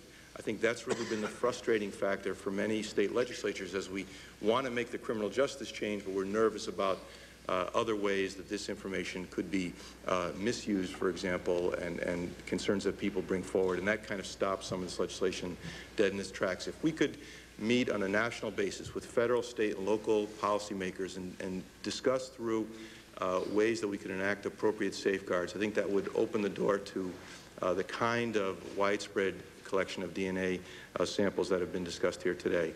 Uh, I think the partnership we've forged in recent years can work effectively, and I look forward to helping in that regard in any way I can or the NCSL can. So thank you very much.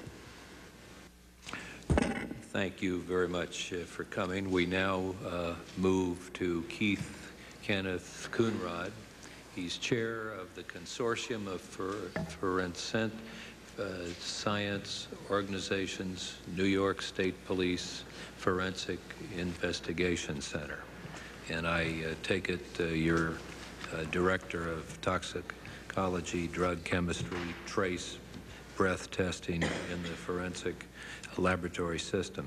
And I see you're chair of the consortium of uh, forensic science organizations, which comprises seven leading forensic organizations. And you might want to spell those out. So uh, we're glad to have you here. You have a lot of authority and academic uh, uh, recognition. Good morning, Mr. Chairman and members of the subcommittee. I'd like to thank the subcommittee for this opportunity to provide testimony here today regarding the role of state and local crime laboratories and how they interact with the federal government. My name is Keith Coonrod. I'm currently employed by the New York State Police as Director of Toxicology, Drug Chemistry, Trace, breath testing in the forensic laboratory system. And I'm here as the chair of the Consortium of Forensic Science Organizations, which comprises of seven leading forensic organizations, which include the American Society of Crime Laboratory Directors, known as ASCLD, which represents over 400 crime laboratory managers and directors from local, state, and federal crime laboratories. I'm currently president of this organization the American Society of Crime Laboratory Directors Laboratory Accreditation Board, known as ASCLD Lab, which is the accrediting body for forensic crime laboratories, for which I'm currently an ex officio member of the Board of Directors, and have been team captain responsible for many inspections of laboratories undergoing the accreditation process. The International Association for Identification, known as IAI, which is the oldest and largest forensic identification association in the world, the American Academy of Forensic Sciences, known as AAFS, which is a professional organization representing numerous forensic specialties such as criminalistics, engineering sciences, jurisprudence odontology, pathology, biology, physical anthropology, psychiatry and behavioral sciences, question documents, toxicology, and multidisciplinary general section. The National Association of Medical Examiners, known as NAME, which represents medical examiners, coroners, and other physicians who conduct death investigations the National Forensic Science Technology Center, known as NFSTC, which is dedicated to assisting forensic science facilities to achieve the highest quality of operations, and finally the National Center for Forensic Science, known as NCFS, which provides research, education, training, tools, and technology to meet the needs of forensic science, investigative, and criminal justice agencies. While the public thinks of forensics as DNA, it is essential that the committee understand that this is just one of the many tools available to the criminal justice community by our forensic laboratories. Although DNA is indeed an important discipline, forensic science is broadly defined as the examination of all evidence submitted by criminal justice agencies to forensic laboratories for the purpose of determining how that evidence pertains to the law and or the courts. Forensic laboratories support the criminal justice community by offering services in clandestine laboratory investigations, explosives analysis, controlled substance analysis, firearms examinations, alcohol analysis, tool mark examinations, toxicology, impression evidence, arson analysis, trace evidence examinations, death investigations, digital evidence, physical match, crime scene investigations, training, as well as biological examinations, including DNA. While over 90% of all forensic examinations are conducted by local and state crime laboratories in the United States, it is important that local, state, and federal laboratories maintain a close working relationship with one another. There is no single local, state, or federal laboratory that can possibly meet the vast needs of the criminal justice community. Currently, there exists a close working relationship between the nation's local and state laboratories and the various federal laboratories. Let me provide you with just a few examples. The DEA laboratory provides a training course for new forensic drug chemists from local and state crime laboratories. This supplemental training provides valuable information as well as advanced technical information gathered from DEA laboratories. The DEA also provides assistance to local and state laboratories in many other drug-related issues, such as clandestine laboratory seizure training, awareness of newly encountered drugs, and technical support in cases involving drugs rarely encountered or analyzed.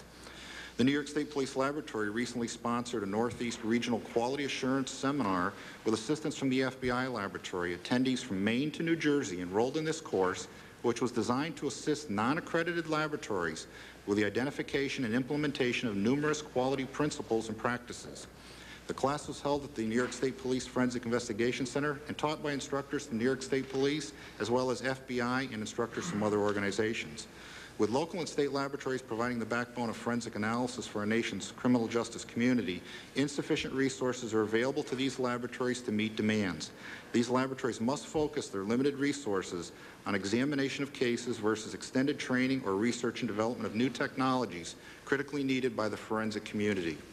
While federal laboratories play a major role in providing valuable assistance in areas such as extended training, research, and development, it remains the mission of our nation's local and state laboratories to support the needs of their criminal justice agencies. Finally, Mr. Chairman, I'd like to thank the members of the committee for passing the Paul Coverdell National Forensic Science Improvement Act. Um, what I have mentioned, what I've tried to bring out to this committee is the importance of, as Mr. Scheck said, a very broad support, as I've said, forensic science is made up of not only DNA, many other sections. For instance, our laboratory, I'm in charge of the trace section. Evidence that we see today did not exist five years ago uh, for potential DNA analysis. Today we get in bags of vacuum cleaner bags in which we're being asked to look for a particular hair that might be one of thousands of hairs uh, to determine if it's probative for subsequent DNA analysis. And this is being done by the trace section. So the point that I would like to make to this committee is the importance of broad support of forensics to all disciplines, not just DNA, because DNA affects the complete laboratory, which is made up of multiple disciplines. As you know, we're working towards appropriating uh, the law this year and appreciate your support in this matter. Again, Mr. Chairman, thank you for the opportunity to testify before the committee, and I look forward to your questions. Thank you very much. That's very helpful because I do want to get into it with Ms. Maloney in terms of the forensics and uh, the laboratories that you've seen. So uh, we will now go to uh, uh Dr. Jamie Downs, the Director and Chief Medical Examiner of the Alabama Department of Forensic Science. Dr. Downs, glad to have you here. Thank you, Chairman Horn and distinguished committee members, for the privilege of coming before you today. As director of one of the few fully integrated forensic laboratory medical examiner systems in our country, and as a practicing forensic pathologist myself, I hope to bring to you a perspective from the state and local level on the status of our nation's forensic laboratory systems. An ideal forensic laboratory requires three things, objectivity, competent and dedicated employees, and resources. The creation of Alabama's forensic system was tied in large part to a tragic miscarriage of justice related to evidence, DNA evidence. The 1931 cases of nine young black men known as the Scottsboro Boys, who were unjustly convicted of rape, pointed out the absence of a competent and impartial forensic agency within our state. In 1935, Alabama's legislature changed that by creating our department to serve as independent and unbiased scientists charged with the collection and analysis of scientific evidence. Our scientists are certified as peace officers and have the power to enter any crime scene in the state for the purpose of securing evidence. All reports of our investigations, both on the scene and in the lab, are public record. These reports clearly indicate factual results and scientific expert opinions based on those results. If I could, allow me to walk you through a typical homicide case recently broadcast on television, and I've uh, submitted a copy for introduction into the record if that's acceptable. In May of 1994, Without objection, that'll be in the record at this point. Thank you, Chairman. In May of 1994, the badly beaten body of an 85-year-old woman was found floating in a pond. Her elderly son was the suspect. At the scene, our department recovered a cigarette butt. The evidence was taken to our DNA section and later proved to have the son's DNA on the surface. At trial, the defense challenged the evidence, questioning how it had been collected, stored, transported, and analyzed. Because this case had been handled properly, there was no difficulty in chain of evidence or in having the criminalistics expertise on hand for pretrial and courtroom presentation. Because I had found that cigarette butt at the scene and personally transported it to the lab, I was able to not only testify as to the handling of the evidence, but also to produce on the stand a scene photograph of the evidence. The successful prosecution of this case hinged on that cigarette butt. That was possible because the local laboratory had done its job. This story is not unique. It happens every day in medical examiner and forensic laboratories across our country. It happens because good people who care do their jobs. On the whole, you will find no finer group of employees than our nation's forensics personnel. Our difficulty then is not with a question of neutrality or ability. Rather, it has been a question of resources, more accurately, a lack of resources. My parents taught me a long time ago, you get what you pay for. If you want quality, you have to be prepared to pay for it. In the business world, income must meet expenses in order to make ends meet. We have to make ends meet in the realm of forensic sciences, and we can only adjust three things quantity, quality, and timeliness. Quantity of evidence is beyond our control. Cases are made based on evidence coming in and being analyzed. Quality is not on the table. One doesn't strive for mediocrity in any area, particularly when someone's life literally hangs in the balance. That leaves only timeliness. We work as many cases as quickly as we can, but our caseload has grown while our budgets have stayed level. The result is staggeringly large backlogs, delays in issuing the reports.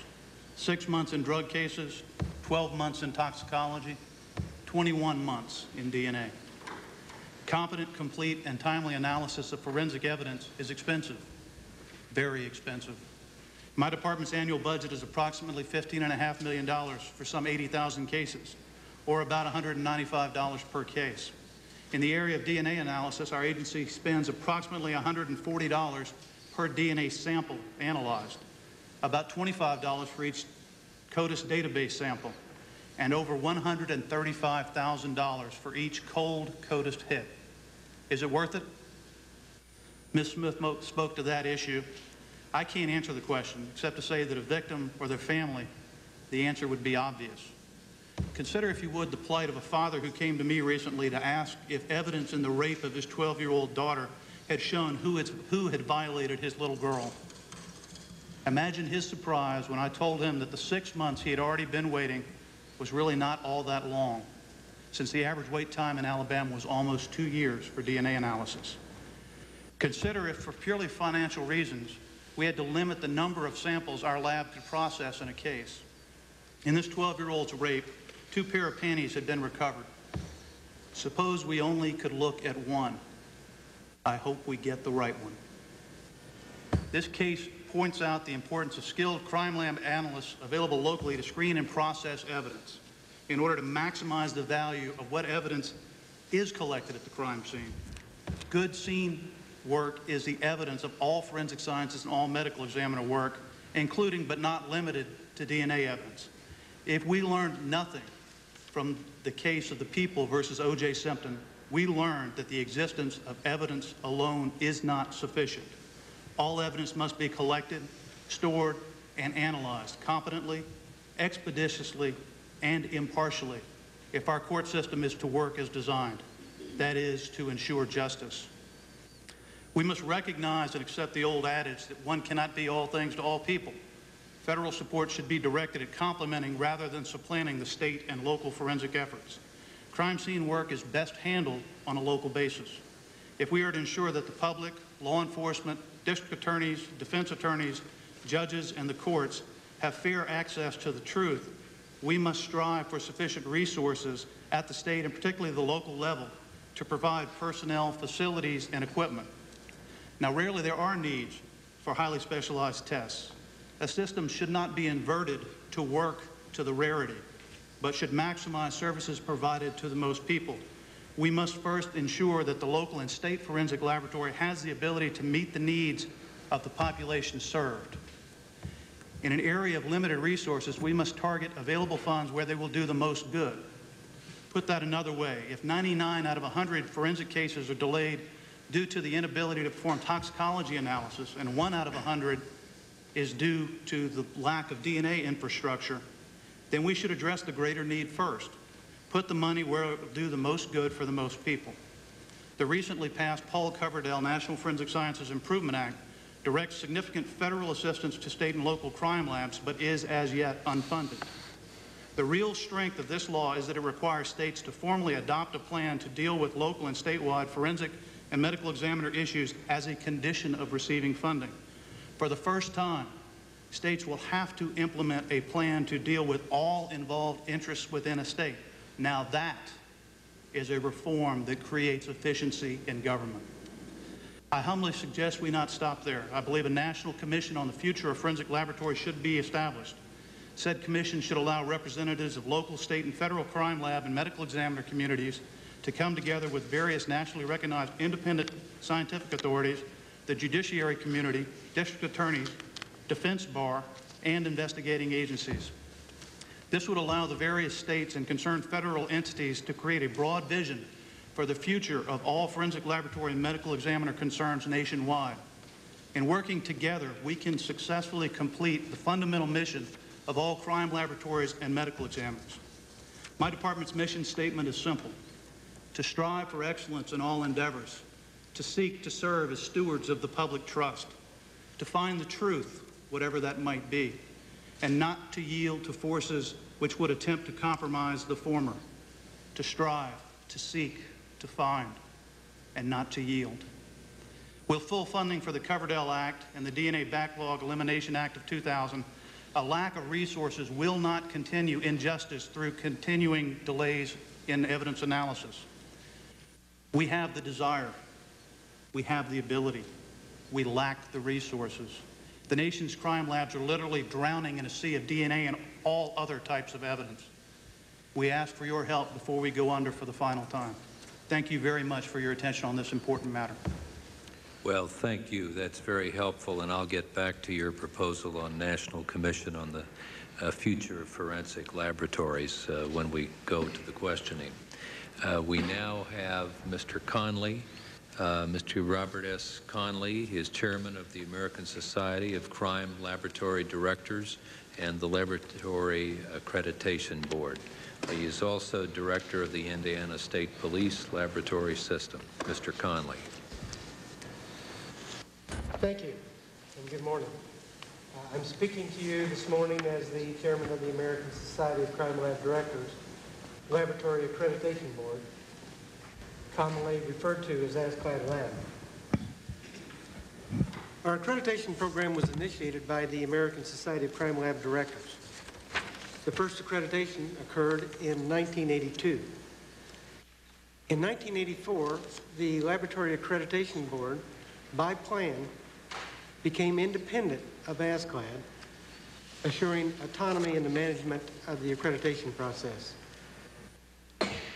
During the program's first 14 years, 131 laboratories were accredited. During the last five years, 83 additional laboratories have become accredited, bringing the total to 214. Of these, 199 are within the United States. At this time, there are 21 applications pending uh, from new laboratories entering the program, and 15 more applications are anticipated by the end of the year. At year's end, we hope to have approximately 235 laboratories accredited. There are, however, over 200 labs still not accredited. I'd like to briefly characterize the ASCLD Lab Accreditation Program this morning. An accredited laboratory must use internally validated written procedures. Maintain training programs in each functional discipline, and competency test new employees before they perform casework. Reports are subject to systematic technical review to assure that findings and conclusions are supported by case file documentation. Scientists are subject to educational standards, and they must participate in a proficiency testing program. The Accreditation Board monitors the laboratory's proficiency test performance. The security, the, uh, uh, the security of the laboratory and the integrity of evidence under its control must be demonstrated, precluding its contamination or deleterious change. An accredited laboratory must have a functional quality system that ensures appropriate corrective actions remediate any deficiency identified by proficiency testing, casework review, audits, or any other means. These requirements and a host of others are verified by a stringent external review, an audit conducted by trained inspectors who are currently employed in accredited laboratories. A laboratory must audit and report its continuing compliance with the program standards. The Accreditation Board reserves the right to inspect a laboratory upon an indication of noncompliance. It has a procedure to consider evidence of noncompliance and to impose sanctions, including the revocation of accreditation. Regarding DNA specifically, ASCLD Lab has historically supported the will of Congress to assure the quality of DNA analysis performed in accredited laboratories. Upon passage of the DNA uh, Identification Act of 1994, our program standards were modified to incorporate the requirement to comply with guidelines developed by the Technical Working Group for DNA Analysis, TWGDAM. Upon publication of the Quality Assurance Standards for Forensic DNA Testing, those standards were incorporated in place of the TWGDAM guidelines. Additionally, the board entered into a memo of understanding with the FBI laboratory to conduct an approved audit of the quality assurance standards to document each accredited lab's compliance with the congressional intent to ensure the integrity of the forensic analysis of DNA and the combined offender DNA indexing system. In closing this morning, I feel I must comment on the funding matter. As you can imagine, with the increased reliance on forensic science by the criminal justice community, we have received an influx of new applications and an increased obligation to periodically inspect accredited laboratories. Coupled with the board's intention to attain recognition as an international standards organization accrediting body, the board is at a crossroads financially. While we recognize that the Paul Coverdell National Forensic Sciences Improvement Act requires grant recipients to be accredited or to prepare and apply for accreditation, that act is not funded. Laboratory budgets remain insufficient to meet criminal justice needs.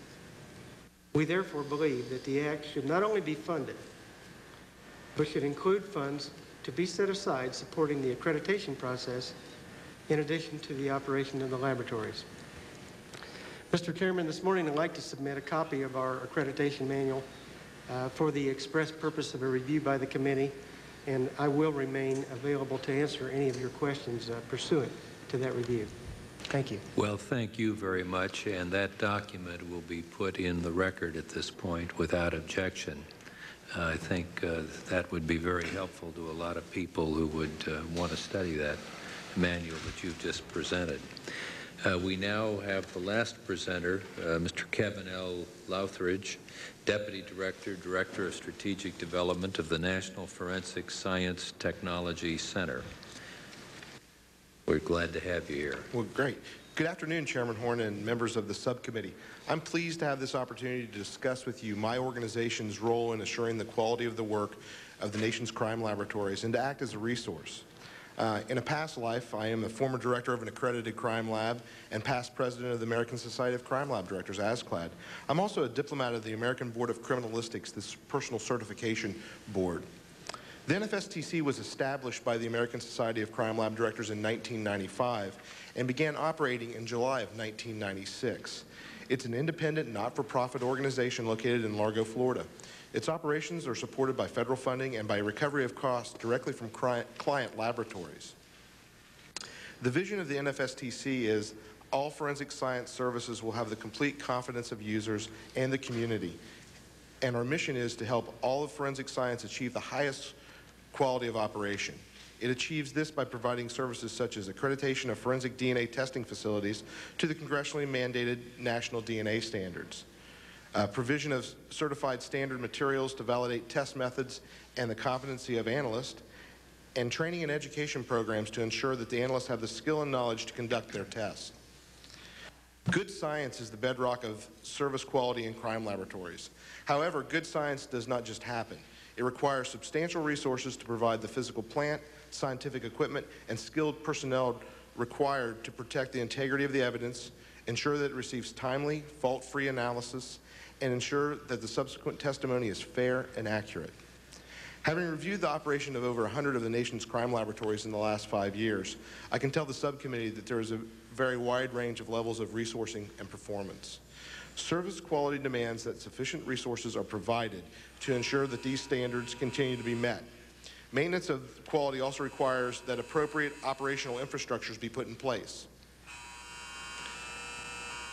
The forensic science community has been working toward the use of a triad of processes to assure the quality of work that is performed in crime laboratories across the country.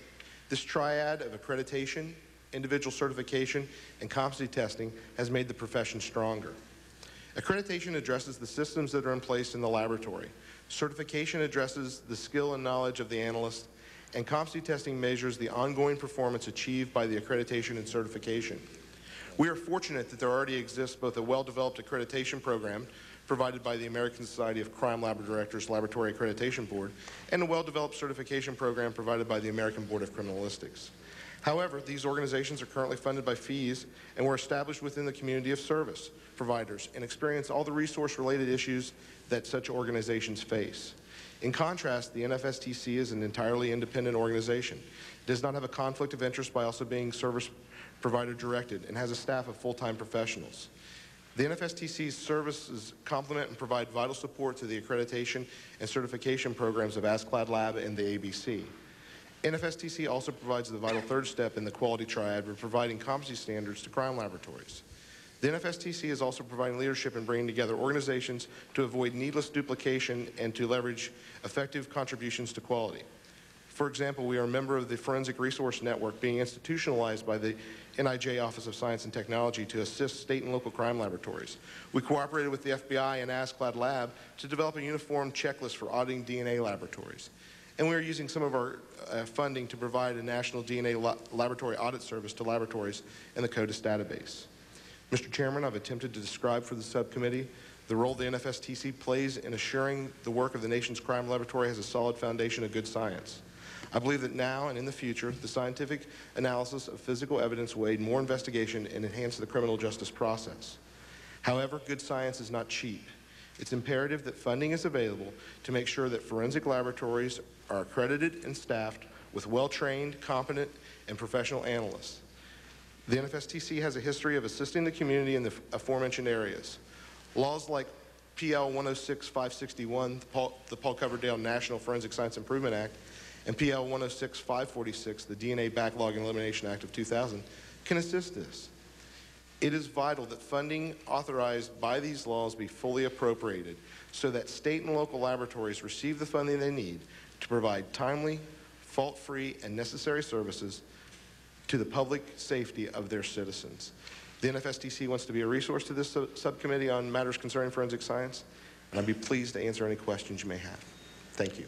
Thank you very much. Uh, we're now going to go to general questions of uh, all of you as a group or individually, and it's going to be five minutes per round. I'll start with Ms. Maloney, five minutes, and I'll take five minutes, and she'll take five minutes. Okay, the gentlewoman from New York. Thank, thank you, Mr. Chairman. I'd like to ask uh, David Boyd. Um, has, has NI Jay done any research as to standardizing evidence collection kits? And do you believe that the laboratories would be more effective and efficient if they were all working off of the same evidence collection standards? NIJ has, over the last uh, two years, uh, published a series of guides, uh, beginning at the direction of the Attorney General with a guide on the collection uh, of evidence at homicide scenes. And we now have produced additional guides for crime scenes in general, for the handling of eyewitnesses, explosive and arson investigations. These guides represent a consensus of what needs to be done at the crime scene in collecting and preserving forensic evidence. Uh, each of the states inevitably adjusts these in keeping with the laws as they obtain in their, in their own jurisdictions, and they have to do that. Uh, but I think it's imperative that the community uh, begin to think very, very extensively, I think, uh, about how to develop a series of appropriate guides that establish what the minimum standards are for the collection, preservation, and analysis of forensic evidence. Keith uh, Conrad, do you agree? Uh, would you like to elaborate? Would, it, would the process be easier if there were, were standardized evidence uh, recovery practices? Well, would I can speak quicker? for well, I can speak for New York State because we did standardize the kit. Uh, for a while, we had two kits, uh, and we've standardized that to actually one kit now, and that has been beneficial to the laboratories in New York State having one type of kit where we know exactly what items are to be collected, how they're to be collected, what the instructions are within that kit for the collecting agency. So from the perspective of one state's view, absolutely it's been very beneficial. And, and you mentioned the backlogs that, that you talked about. Are, are they throughout all areas, or are they just specifically just DNA testing? Backlogs are being exhibited throughout all areas, and as I made as a reference, uh, DNA affects many areas, and for instance, one of them I use as example of trace evidence, where we would get in now, we're getting in vacuum cleaner bags. Our trace evidence section must go through those vacuum cleaner bags because of what is considered to be potential DNA evidence now is much different than it was five years ago. So we must identify hairs, uh, full hairs with roots, partial hairs, and determine are they suitable for DNA analysis, and if so, uh, make some decisions as to whether we can possibly even consider analyzing all of this potential evidence that exists. So DNA affects many sections of the laboratory, and hence there are many backlogs of all sections. Um, Mrs. Smith had mentioned the SANE nursing. Uh, there's a lot of other issues when we're talking about sexual assaults or rapes, uh, dealing with these rape kits, and that also includes drug-facilitated rape or sexual assault. There's a lot of other issues that are being generated as a result of DNA and sexual assault, et cetera. And these impact all of our laboratories. New York State does not have the resources uh, to do DFR, drug-facilitated rape uh, testing. So there's backlogs across the broad spectrum. Well, many of you talked about uh, backlogs, and, and uh, Mr. Scheck in his testimony talked about how he worked with the police commissioner in New York City to attack the the, the backlog, and uh, they outsourced it, and they still couldn't attack the backlog because even with the private resources and the public resources, they were not able, able to address it. And he mentioned earlier that you should uh, really attack the ev evidence between seven or 10 days to have the best uh, effect. So we really have this wonderful tool, uh, but we're not efficiently really using it across uh, the nation. And I'd like to hear if there any ideas of how, how we can address this. Um, anyone's comment? I'd we... like to uh, respond to that if I might. Um, to give you one idea of what might be done, uh, research and development has shown over the years that we've been able to reduce the time it takes to perform DNA testing. When we began performing DNA testing in the late 1980s, it would take six to eight weeks to perform one test. Now that has been reduced to days. Uh, so therefore, the research and development monies that have been uh, allocated to DNA efforts has greatly reduced the amount of time it now takes. And as Dr. Boyd mentioned uh, in his statement, additional research in the area of, of chip technology is also looking to reduce the amount of time it takes. But I might point out that that is the amount of time it takes to do the DNA process alone.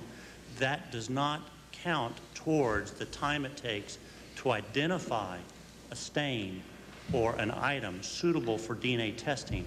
When you're talking about hundreds of items of evidence submitted in one particular case, it may take days or weeks to find that one particular stain that then can go through DNA testing. Given the fact that it takes such a long time, and again, going back to Mr. Scheck's uh, testimony, uh, where he suggested that possibly we should have a standard, a state or a federal standard, that certain crimes you do first. Obviously, if you're in prison, don't do the DNA check. Uh, but many states are doing DNA checks of prisoners first. Should we not have a federal standard that those on parole be attacked first uh, for, for, the backlog? I just wanted your comments, or anyone's uh, comments on it. I have known Mr. Scheck now for well over a decade, and I can tell you that he and I have not always seen eye to eye on things, but today he and I see eye to eye on almost everything. And his priority list is exactly right. The priorities of reducing the backlogs, but not forgetting the cases that are happening today mm-hmm. and being able to attack those cases right now. Mm-hmm. His priority of, of seeing mitochondrial DNA testing uh, placed in the crime laboratories at the state and local level, those are proper priorities that uh, should be addressed. Um, Dr. Boyd and Mr. Adams, uh, I'd like to know how much money is the federal government providing to the states and local forensic laboratories? Uh, the National Institute of Justice uh, will have this year uh, a total of uh, $60 million, which is, or I'm sorry, $30 million, which is available directly to uh, state and local forensic laboratories, and that's for DNA and general forensic uh, work as well. some of that is earmarked, but it all goes to uh, states for forensic applications. In addition to that, uh, we have just received uh, authority to reprogram $25 million of asset forfeiture money to help with the CODIS backlog. That also will go to the states, uh, which represents by itself about 50. So that gives you a total of about $55 million this year, which will go to state and local laboratories. And that is far and away the largest amount ever provided in a year uh, to state and local crime laboratories. Any comments on that, on the money? Is it too much, little, or what? Uh, it's always not I think enough, right? I think it's not nearly, I'll speak for these gentlemen, I'm sure they won't disagree with this. It's not nearly enough, but I think that the, the issue is somehow directing the priorities so that you get the most return for the investment. And one of the things that I'm sure uh, Mr. Asplen and uh, Dr. Boyd could testify to is that when uh, some of the backlog money, the $14.4 million, was being sent out, I know that NIJ was encouraging state and local labs to do more of the unsolved cases. I think, what was it, Chris? The initial request was that they do 2% of the appropriations go towards unsolved cases. And when we're talking about the unsolved cases, we're talking about those rape kits, like Debbie Smith's rape kit. And I can't think of a more important, and, and, and they argued with NIJ and they said, well, look, you know, given all our priorities, given the pressures that the states are putting on us to show some results for convicted offender backlog, we can't do 2%. We have to have it at just 1%. So, you know, there, there has to be a way of redirecting the priorities. Uh, it is very true what they're saying about more trace evidence now is going into the laboratories. We need training on how people can identify which are the appropriate stains so they can be more efficient. But I again have to come back to this point. What can be more efficient well, than typing get... those rape kits? Because we know that those sexual assault cases are going to give the identity of the semen donor, and there is no more powerful application of DNA than those untested rape kits. Well, let me ask Dr. Boyd, uh, do we have a training kit uh, for laboratories that has been worked out by the uh, National Institute of Justice so that you'd have some uh, uniformity across the country because science is science and how do you best deal with it. I think everybody there has given me impression of priorities and uh, I think it's probably a pretty common uh, separate now. Uh, if there are priorities that you heard that you don't like and there's others that you want to put in, let me know right now. Because we'd like to, okay, Mr. Asplen. On, on the training program, there, there are a couple of, a couple of issues with training. Uh, the FBI offers, uh, I think, probably the best DNA training available in the United States.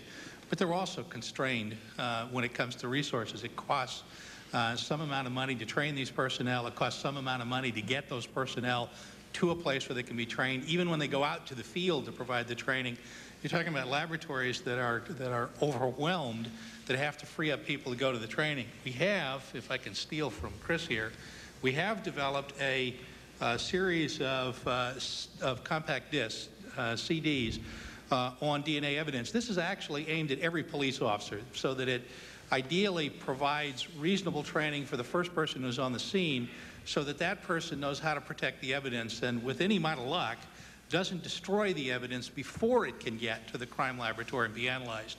This CD, uh, interestingly enough, has now been uh, requested uh, by the British as well, who like it uh, and are interested in using it. One point I think it's important to make, uh, we've had a number of people who've talked about DNA evidence and other sources of evidence. It's important to remember that DNA only represents about or less than 3% of all the material that comes into crime laboratories for analysis. Now, that's an important 3% because it it's so powerful and has so great a payoff that, that its pay is out of proportion, its payoff is out of proportion to the amount of the evidence. But it's still important to remember that the crime lab has to face that whole range of evidence, and so it, it manages to keep them pretty overwhelmed. The last point I'd make is the priority issue is a little bit of a chicken and the egg kind of problem. Uh, so far, there have been 150 cold hits just by requiring the 1% because so many states told us they simply couldn't do more than 1%. Nevertheless, it's also true that if we don't populate the database itself, then we can't get hits when we do no suspect data. And if we populate that and don't do the no suspect uh, analysis, then we're not going to get the hits we want. Uh, ultimately, I think uh, there needs to be some effort to look at funding both ends of this equation because it's very much a sine qua non. The one is required to make the other one really pay off. Uh, my time is up. Uh, Ms. Maloney has five minutes now for questioning. Because of the huge backlog, uh, some of you testified that the statute of limitations runs out and some states are responding by eliminating the statute of limitations or other uh, other adjustments. And uh, again, uh, Mr. Scheck in his testimony mentioned a proposed New York state law that would allow um, John Doe warrants to keep that case alive, thereby not doing away with statute of limitations, uh, which has some benefit in certain cases. And I'd like to uh, ask Mr. Scheck to, to um, elaborate if you'd like, but I'd like each of you to state whether or not you think that's a good idea. Yeah, I, there are a number of different states that have proposals. The reason I think that my colleagues here might like the one in New York is that it it, it says by the way has not passed. It's, it's not passed. It's proposed. Is that it it it makes the legislators, the state legislators, put money into the crime labs to deal with the backlog. It's not going to do any good for anyone, frankly, to say, let's not have any more statute of limitations on rape cases. Frankly, I can think of a class of cases where the uh, individual charged is it's a consent defense. DNA is going to be irrelevant, and you prosecute somebody, you know, 15 years later uh, or some number of years later. It's not fair to anybody. But unless, you, unless the states pass this John Doe warrant, uh, uh, type statute with additional monies to the crime labs so that they can actually do the testing on these unsolved rape cases, um, it's not going to it's not going to be effective. And so that's what's good about the Silver Bill, is that it says we'll extend the statute of limitations by a year or two. So as the statute is beginning to run out on uh, these cases, the crime labs have a tremendous incentive to go through all their unsolved rape kits just before the statute's going to expire and type all of them. I'd like uh, members of the panel to comment whether you support it or oppose it and why, I- this proposal. I- I would agree um, with Mr. Scheck that as a vehicle to bring attention, number one, to the issue of rape kits that are being thrown out in cases that we're literally losing every day by the thousands, um, it's an excellent vehicle for that, especially if it brings money along. I'm not sure that it's necessarily a legal requirement in terms of actually filing the John Doe warrant. The first John Doe warrant on a DNA basis was filed in Milwaukee, Wisconsin, and we've had a number of them since then in states that don't have a statutory permission to do that. The John Doe warrant is not a new concept in criminal justice. We've been doing it for years based on AKA. We've been doing it based on physical description. It's just an infinitely better way of doing it. Um, so again, it may not be a legal requirement, but but I would certainly agree that as a mechanism to bring home the extent of the problem uh, that we face uh, by these cases that are, that are being lost every day, I would agree with it. Any other comments? If, if I could just add, uh, just repeat what I said earlier, which was that in Connecticut, it wasn't a proposal, it actually has become law last year. Uh, It was a retroactive extension backwards of the statute of limitations, 20 years. The only requirement was that the report had to be made to the police within five years of the occurrence. But assuming that happened, uh, then we could indict someone today uh, based on an incident which occurred 18, 19 years ago. Uh, and the reason we did this uh, was because of the advent of DNA evidence, where it would be possible to identify the person involved. And uh, it was discussed this question of consent. You know, consent can always be a defense, uh, obviously, in, in most sexual assaults, and, and that is a, a continuing problem. But nonetheless, uh, we did it, and, uh, and it stood up. It stood up so far. On cost that the chairman brought up, I'd like to go to, to Dr. Downs. In your statement, uh, I believe you said that, that, that there was an average of $195 per case, and specifically DNA approximately $140 per sample, approximately $25 for CODIS database sample. Then I believe you stated that 135,000 for each cold CODIS. And uh, can you explain the tremendous jump in price uh, from $25 to uh, 140 to 135,000? Uh, What is entailed in that amount? Yes, ma'am, be happy to. The $140 per DNA uh, evidence sample, in a homicide capa- case, a typical homicide case, we might have at least 10 evidence samples in that case. So right away, you jump to more like $1,500. Uh, The numbers that were broken down were by the total number of cold hits that we've had in Alabama, which are 10.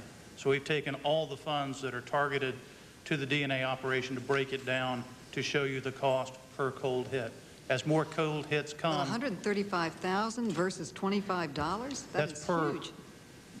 that's per sample that's entered into the database. That's a very uh, cost-effective thing to just put the clean samples into the database and store those samples uh, in the computer database for later comparison purposes. Okay, my time is up.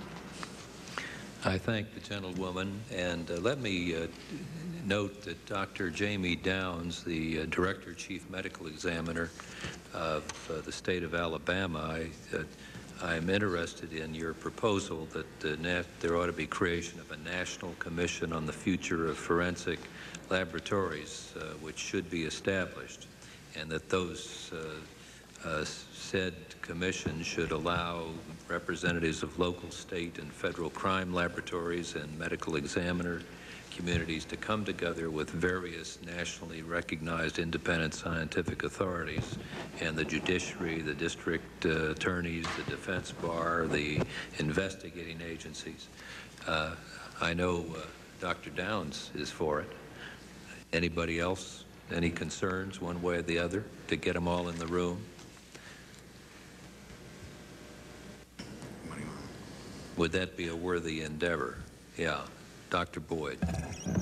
Uh, There are, I think with a properly drawn charter, that there are significant advantages in bringing together uh, the broad community to address any of these issues uh, that are of concern to the field. We've had a great deal of success, uh, I think, with the National DNA Commission in looking very broadly at DNA issues separate from all of the institutional imperatives.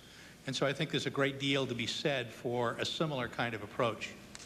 Now, as I remember, uh, the often the Attorney General of the United States brings that type of a conference together. Sometimes it's the president on a White House this or that, like White House Conference on Youth. Uh, I've been on that one, and the White House this and that. Uh, do you think uh, the Attorney General uh, might have an interest in doing that because it is a, focused on a particular area that is strictly justice? I, I would have to refer that to the department. Yeah. Well, we, we might uh, make it a recommendation in our report to the House. Mr. Chairman, from, from the perspective of the National Commission on the Future of DNA Evidence, and I think the potential for that kind of deliberative body, it's important for a number of reasons. In many respects, the importance of a commission like that is as much the process as anything. In that, one of, I guess, the overriding philosophies behind the, the, this commission, the, the DNA Commission, was how do you maximize the value of DNA evidence its investigative value while at the si same time engendering public trust in the system. The fact that we were able to, on a national level, in a very open forum, discuss important issues like privacy, like funding, um, and, and even some of the scientific issues, I think were very important and ultimately enabled us to advance things even more quickly and enabled us to integrate the technology more quickly. Um, our ability, for example, when arrestee testing first came up, it was a very touchy subject, but at that time, the discussion was being held on CNN uh, or, or, on Larry King Live, one night with Commissioner Safir, the next night with the ACLU. When the Attorney General came to the Commission and said, I'd like you folks to discuss this, the playing field was leveled, and the public had an opportunity to hear what was going on and, and to participate in it. And I think the nature of the process itself is incredibly important. Uh, I think the tangible benefits, the more tangible benefits, though, I think are, are important also. We wouldn't really be talking that much about backlog reduction through outsourcing if the Commission hadn't started to make that recommendation three years ago. The community had talked about it, the forensic community had talked about it, but we hadn't set it forth as a proposition, and, and I think that was one of the great um, accomplishments of the Commission. Uh, now, there is a commission uh, right now with some members on it, isn't it? The, the, National Commission on the Future of DNA Evidence uh, is still in existence. However, its charter expires in August. We have existed for four years now, and that charter will expire. Now, does the Attorney General appoint those individuals to that commission? No, they were not appointed by the Attorney General. That was it was a commission created by the Attorney General. It was administered through the National Institute of Justice. The appointees were made through the director of NIJ. At that time, it was Director Travis. Uh, I have an interest in this because uh, uh, uh, Norval Morris, I think a lot of you know, a very distinguished lawyer in uh, University of uh, Chicago Law School. Uh, also, Robert Kutak, he's no longer alive, but he was one of the founders, and I uh, just tagged along with him. And uh, we created the National Institute of Corrections at the request of uh, Chief Justice Burger called us in and said, for heaven's sake, try to get the states to uh, get up to the standards that we have in the Federal Bureau of Prisons. And we did that. And we went through 11 attorney generals doing that. But uh, it worked, and we put out money. It didn't take much.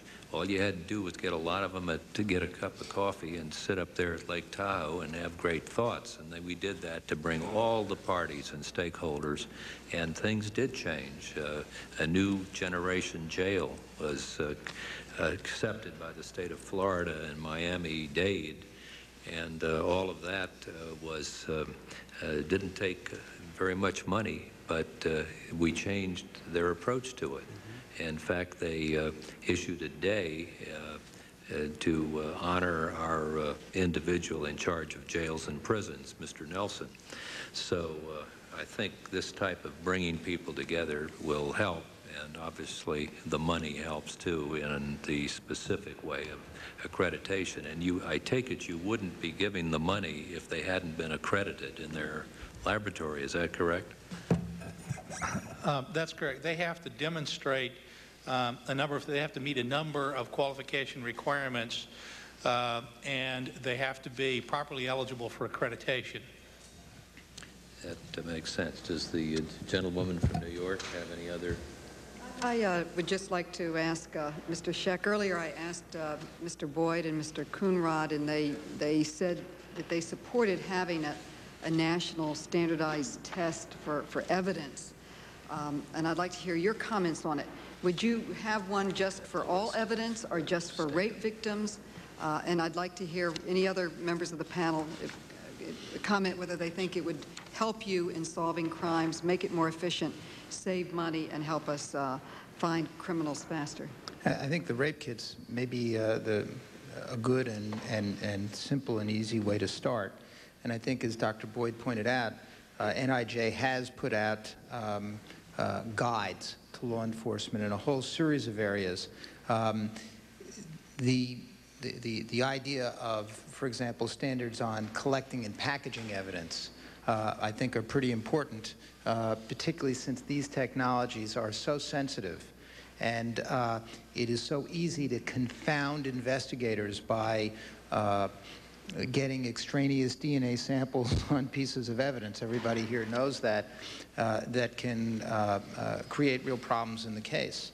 So I think that there's room for establishing national standards. I think that but each jurisdiction is going to be a little different, and uh, they they will probably be developing their own uh, variations. As long as it's within a certain national standard on some of these things, I think it could be helpful. Would anyone else like to comment? Yeah, I might volunteer that uh, in, in the state of Indiana, a program that's been real successful is uh, uh, we have a state statute that uh, assists victims of crime and, and uh, sexual assault victims particularly uh, by paying for the medical expenses for the examinations performed. Uh, in order to, for the hospital to apply directly for those funds, uh, a standardized sexual assault evidence kit must be used that's approved uh, by a committee of the state, including forensic scientists from uh, our state crime laboratories. So it's been a real successful program, I think, and that's just one idea I might share with you. In regards to the overall concept of evidence collection, uh, the accreditation program uh, recently uh, in, in the year 2001 added the new discipline of crime scene processing, which is a, an additional discipline that accredited laboratories may participate in. And I think that this is going to be, to go a long way towards causing agencies to create, uh, with guides, uh, such as already been mentioned, uh, internal systems of managing how crime scenes are processed. Uh, there's a history in law enforcement and in field investigations that if we write down no rules, it's a little more difficult to uh, evaluate our weaknesses. Uh, it's going to take time. It's going to take years, but this is a good start in the development of uh, more high quality, consistent uh, processing of crime scenes. Thank you. Any?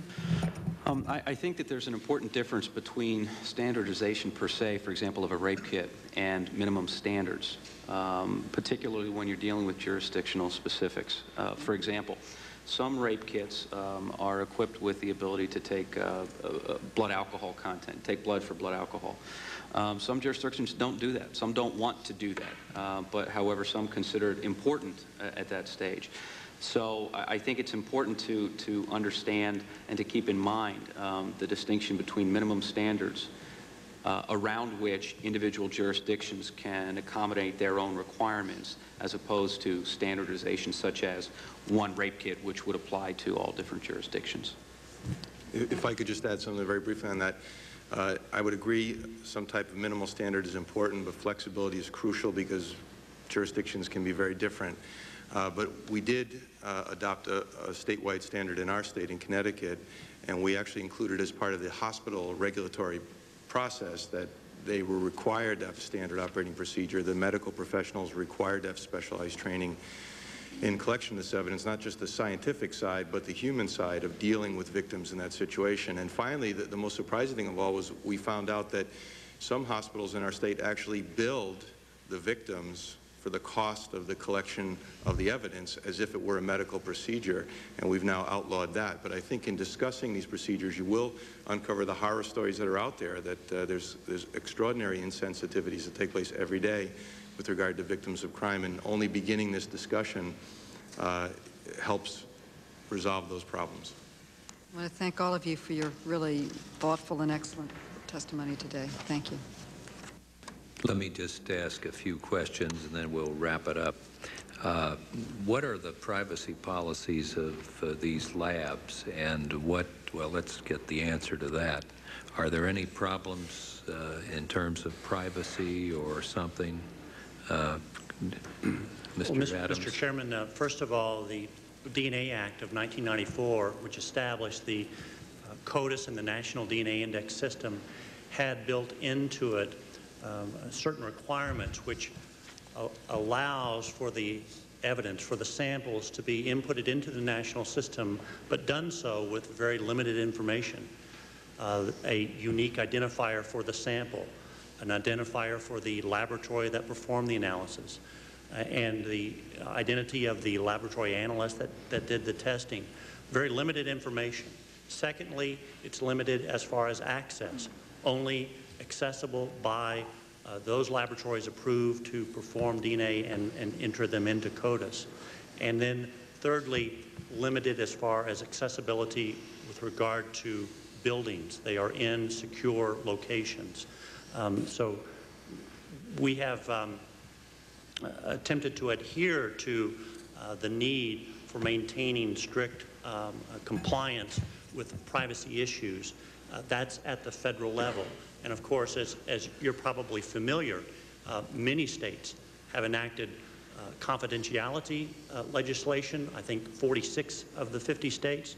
Uh, over half of the states have um, um, criminal penalties associated with uh, improper disclosure. So privacy has been an important issue that was also discussed by the Commission on DNA as well as the DNA Advisory Board. Uh, Does some of that also include the so-called disgruntled employee where they damage some of the samples? Have you ever had that in any of the lab laboratories? And is it part of the accreditation system? I'm unfamiliar with that, uh, um, Okay. that aspect. Well, Mr. Conley, you probably, Well, in, in terms of uh, the possibility of a, of a disgruntled employee doing something that would be damaging to uh, a database, uh, certainly uh, I believe in an accredited laboratory situation, uh, that would not go undiscovered and it would not go unaddressed. Uh, one of the worst cases, I, the, the data in the form that it's recovered uh, or that is stored in a database really doesn't mean anything to anybody who's concerned about the likelihood for somebody to die early or of a disease or to pass on a genetic defect or something like that. And this in and of itself helps to build in uh, some security. Um, in terms of some damage to the database, typically those of us who have the responsibility for maintaining state databases do maintain under high security uh, samples to have the ability to reconstruct it if necessary in the future. Uh, I hope that responsive to your question. does uh, a, D, a DNA sample that, uh, say, prove to a person could be exonerated, what happens to the sample? Uh, does that then just It's frequent uh, that we've had hits, uh, certainly in our state, uh, where people have been identified uh, after the laboratory test has excluded a suspect. Uh, those suspects would not meet the definition of our uh, state law, which is basically fits the, the federal regulations and, and the, uh, the federal law. Uh, the, the, the profile of an innocent person or a person who was excluded could not be put into the database. Uh, only forensic samples, uh, question, unknown samples that have, uh, uh, in cases that have not been solved. Uh, There have been some case-to-case hits, obviously, uh, between specimens recovered in separate criminal invest- investigations, separate criminal assaults. We re- recently had uh, some in Indiana that were on opposite sides of the state. Uh, Then a suspect was developed in one of the cases and uh, successfully uh, charged, uh, at least to this point, in both counties. But the, the, Scheck. the, the, the issue here is not the CODIS system, all right? I mean, you have the national computer, and you have the state and local computers, and there are very strict requirements, as uh, Dwight Adams said, for putting those samples in. We put those into the 1994 Act. That's not the problem. If everybody would live, if all the state and local authorities would live with precisely the CODIS rules, that would be fine. But they're not. What's happening now that state and local authorities have the capacity to do their own DNA typing, it's a pretty simple matter to extract the DNA profile, let's say, because we've known, know it, we found out in our commission, our National DNA Commission, that this has apparently happened. They take a sample from a rape victim or from, let's say, a husband whose sample was taken for elimination purposes, or what is very frequently happening, I believe, they'll go, uh, uh, uh, police will say to some individual, look, we want your sample for elimination purposes because you live in this area or uh, the, you're near a crime scene, all right? And we just wanted for this case, or they indicated, they suggest it's just for this case. Then those samples, they can't be put into CODIS, but they can be put into that state and local data bank. And those, unfortunately, are not regulated. They're not subject to the CODIS rules.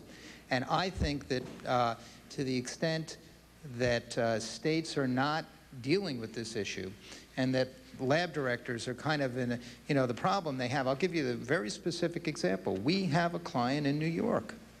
He was exonerated, the man I talked to before, talked to you about before, who, uh, you know, with bite mark evidence, they took the saliva stain and then the fingernail scrapes and matched him up. He's exonerated. He leaves jail. Under our CODIS and state rules, his sample will come back to him. But the New York City Medical Examiner's Office has that DNA profile. And they say, well, I have no authorization to get rid of it. We're just going to keep it in our computer.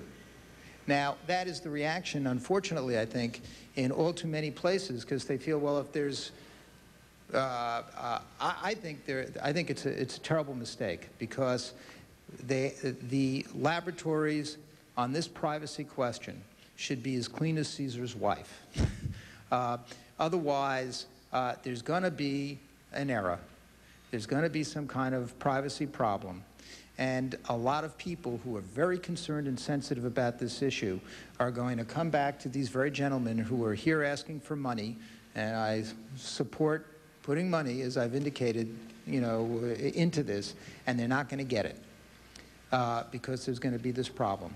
And so, uh, uh, really, more attention has to be paid to these privacy issues. And incidentally, it's no longer good enough to say that, well, all these STR markers, or all these DNA markers, they're all quote-unquote junk DNA. Well, we sequenced the genome, right? We realize that this junk DNA is very meaningful. One of these markers, incidentally, uh, TH01, uh, uh, is uh, actually uh, uh, implicated in, I think, a disease. I may, I may be wrong about which one, but I think it's a marker for some form of diabetes. So we just wrong about which one, but I think it's a marker for some form of diabetes. So we just can't say that anymore.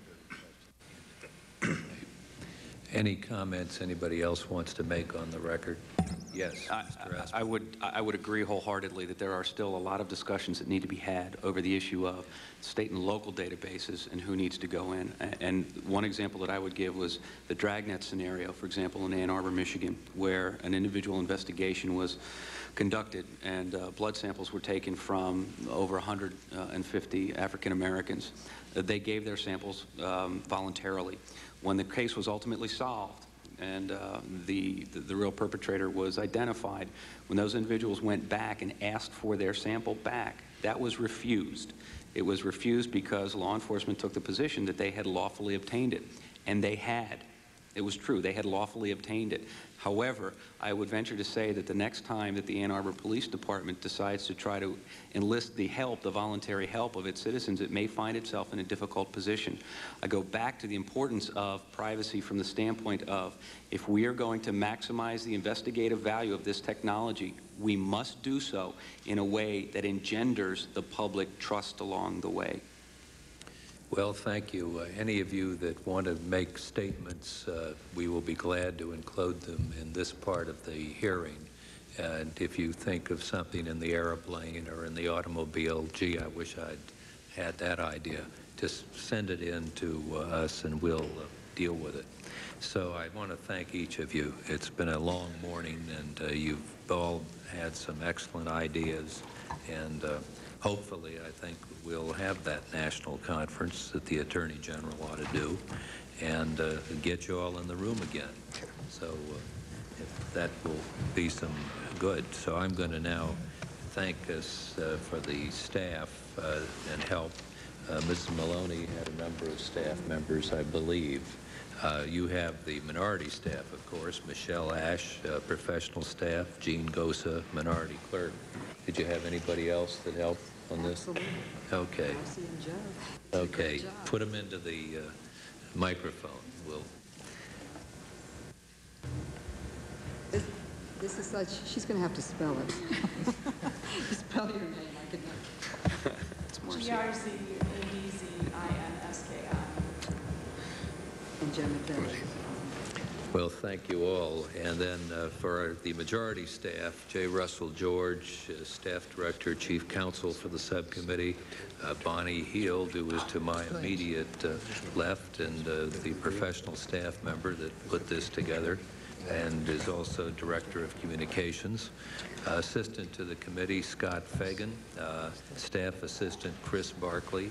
Uh, Interns, Alex Hurwitz, uh, Ryan Sullivan, and uh, Faraya Falik uh, interns.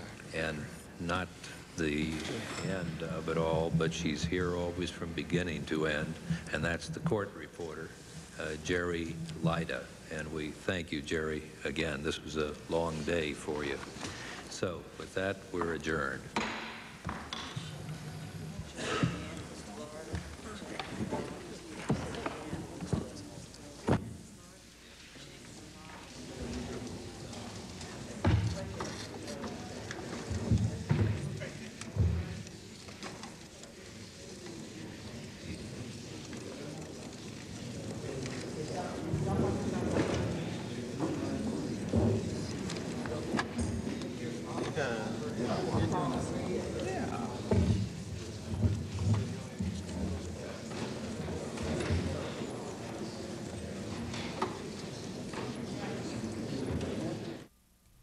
Look at some hearings available through our websites.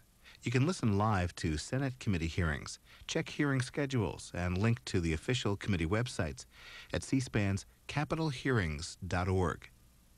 Tomorrow at 10 a.m. Eastern,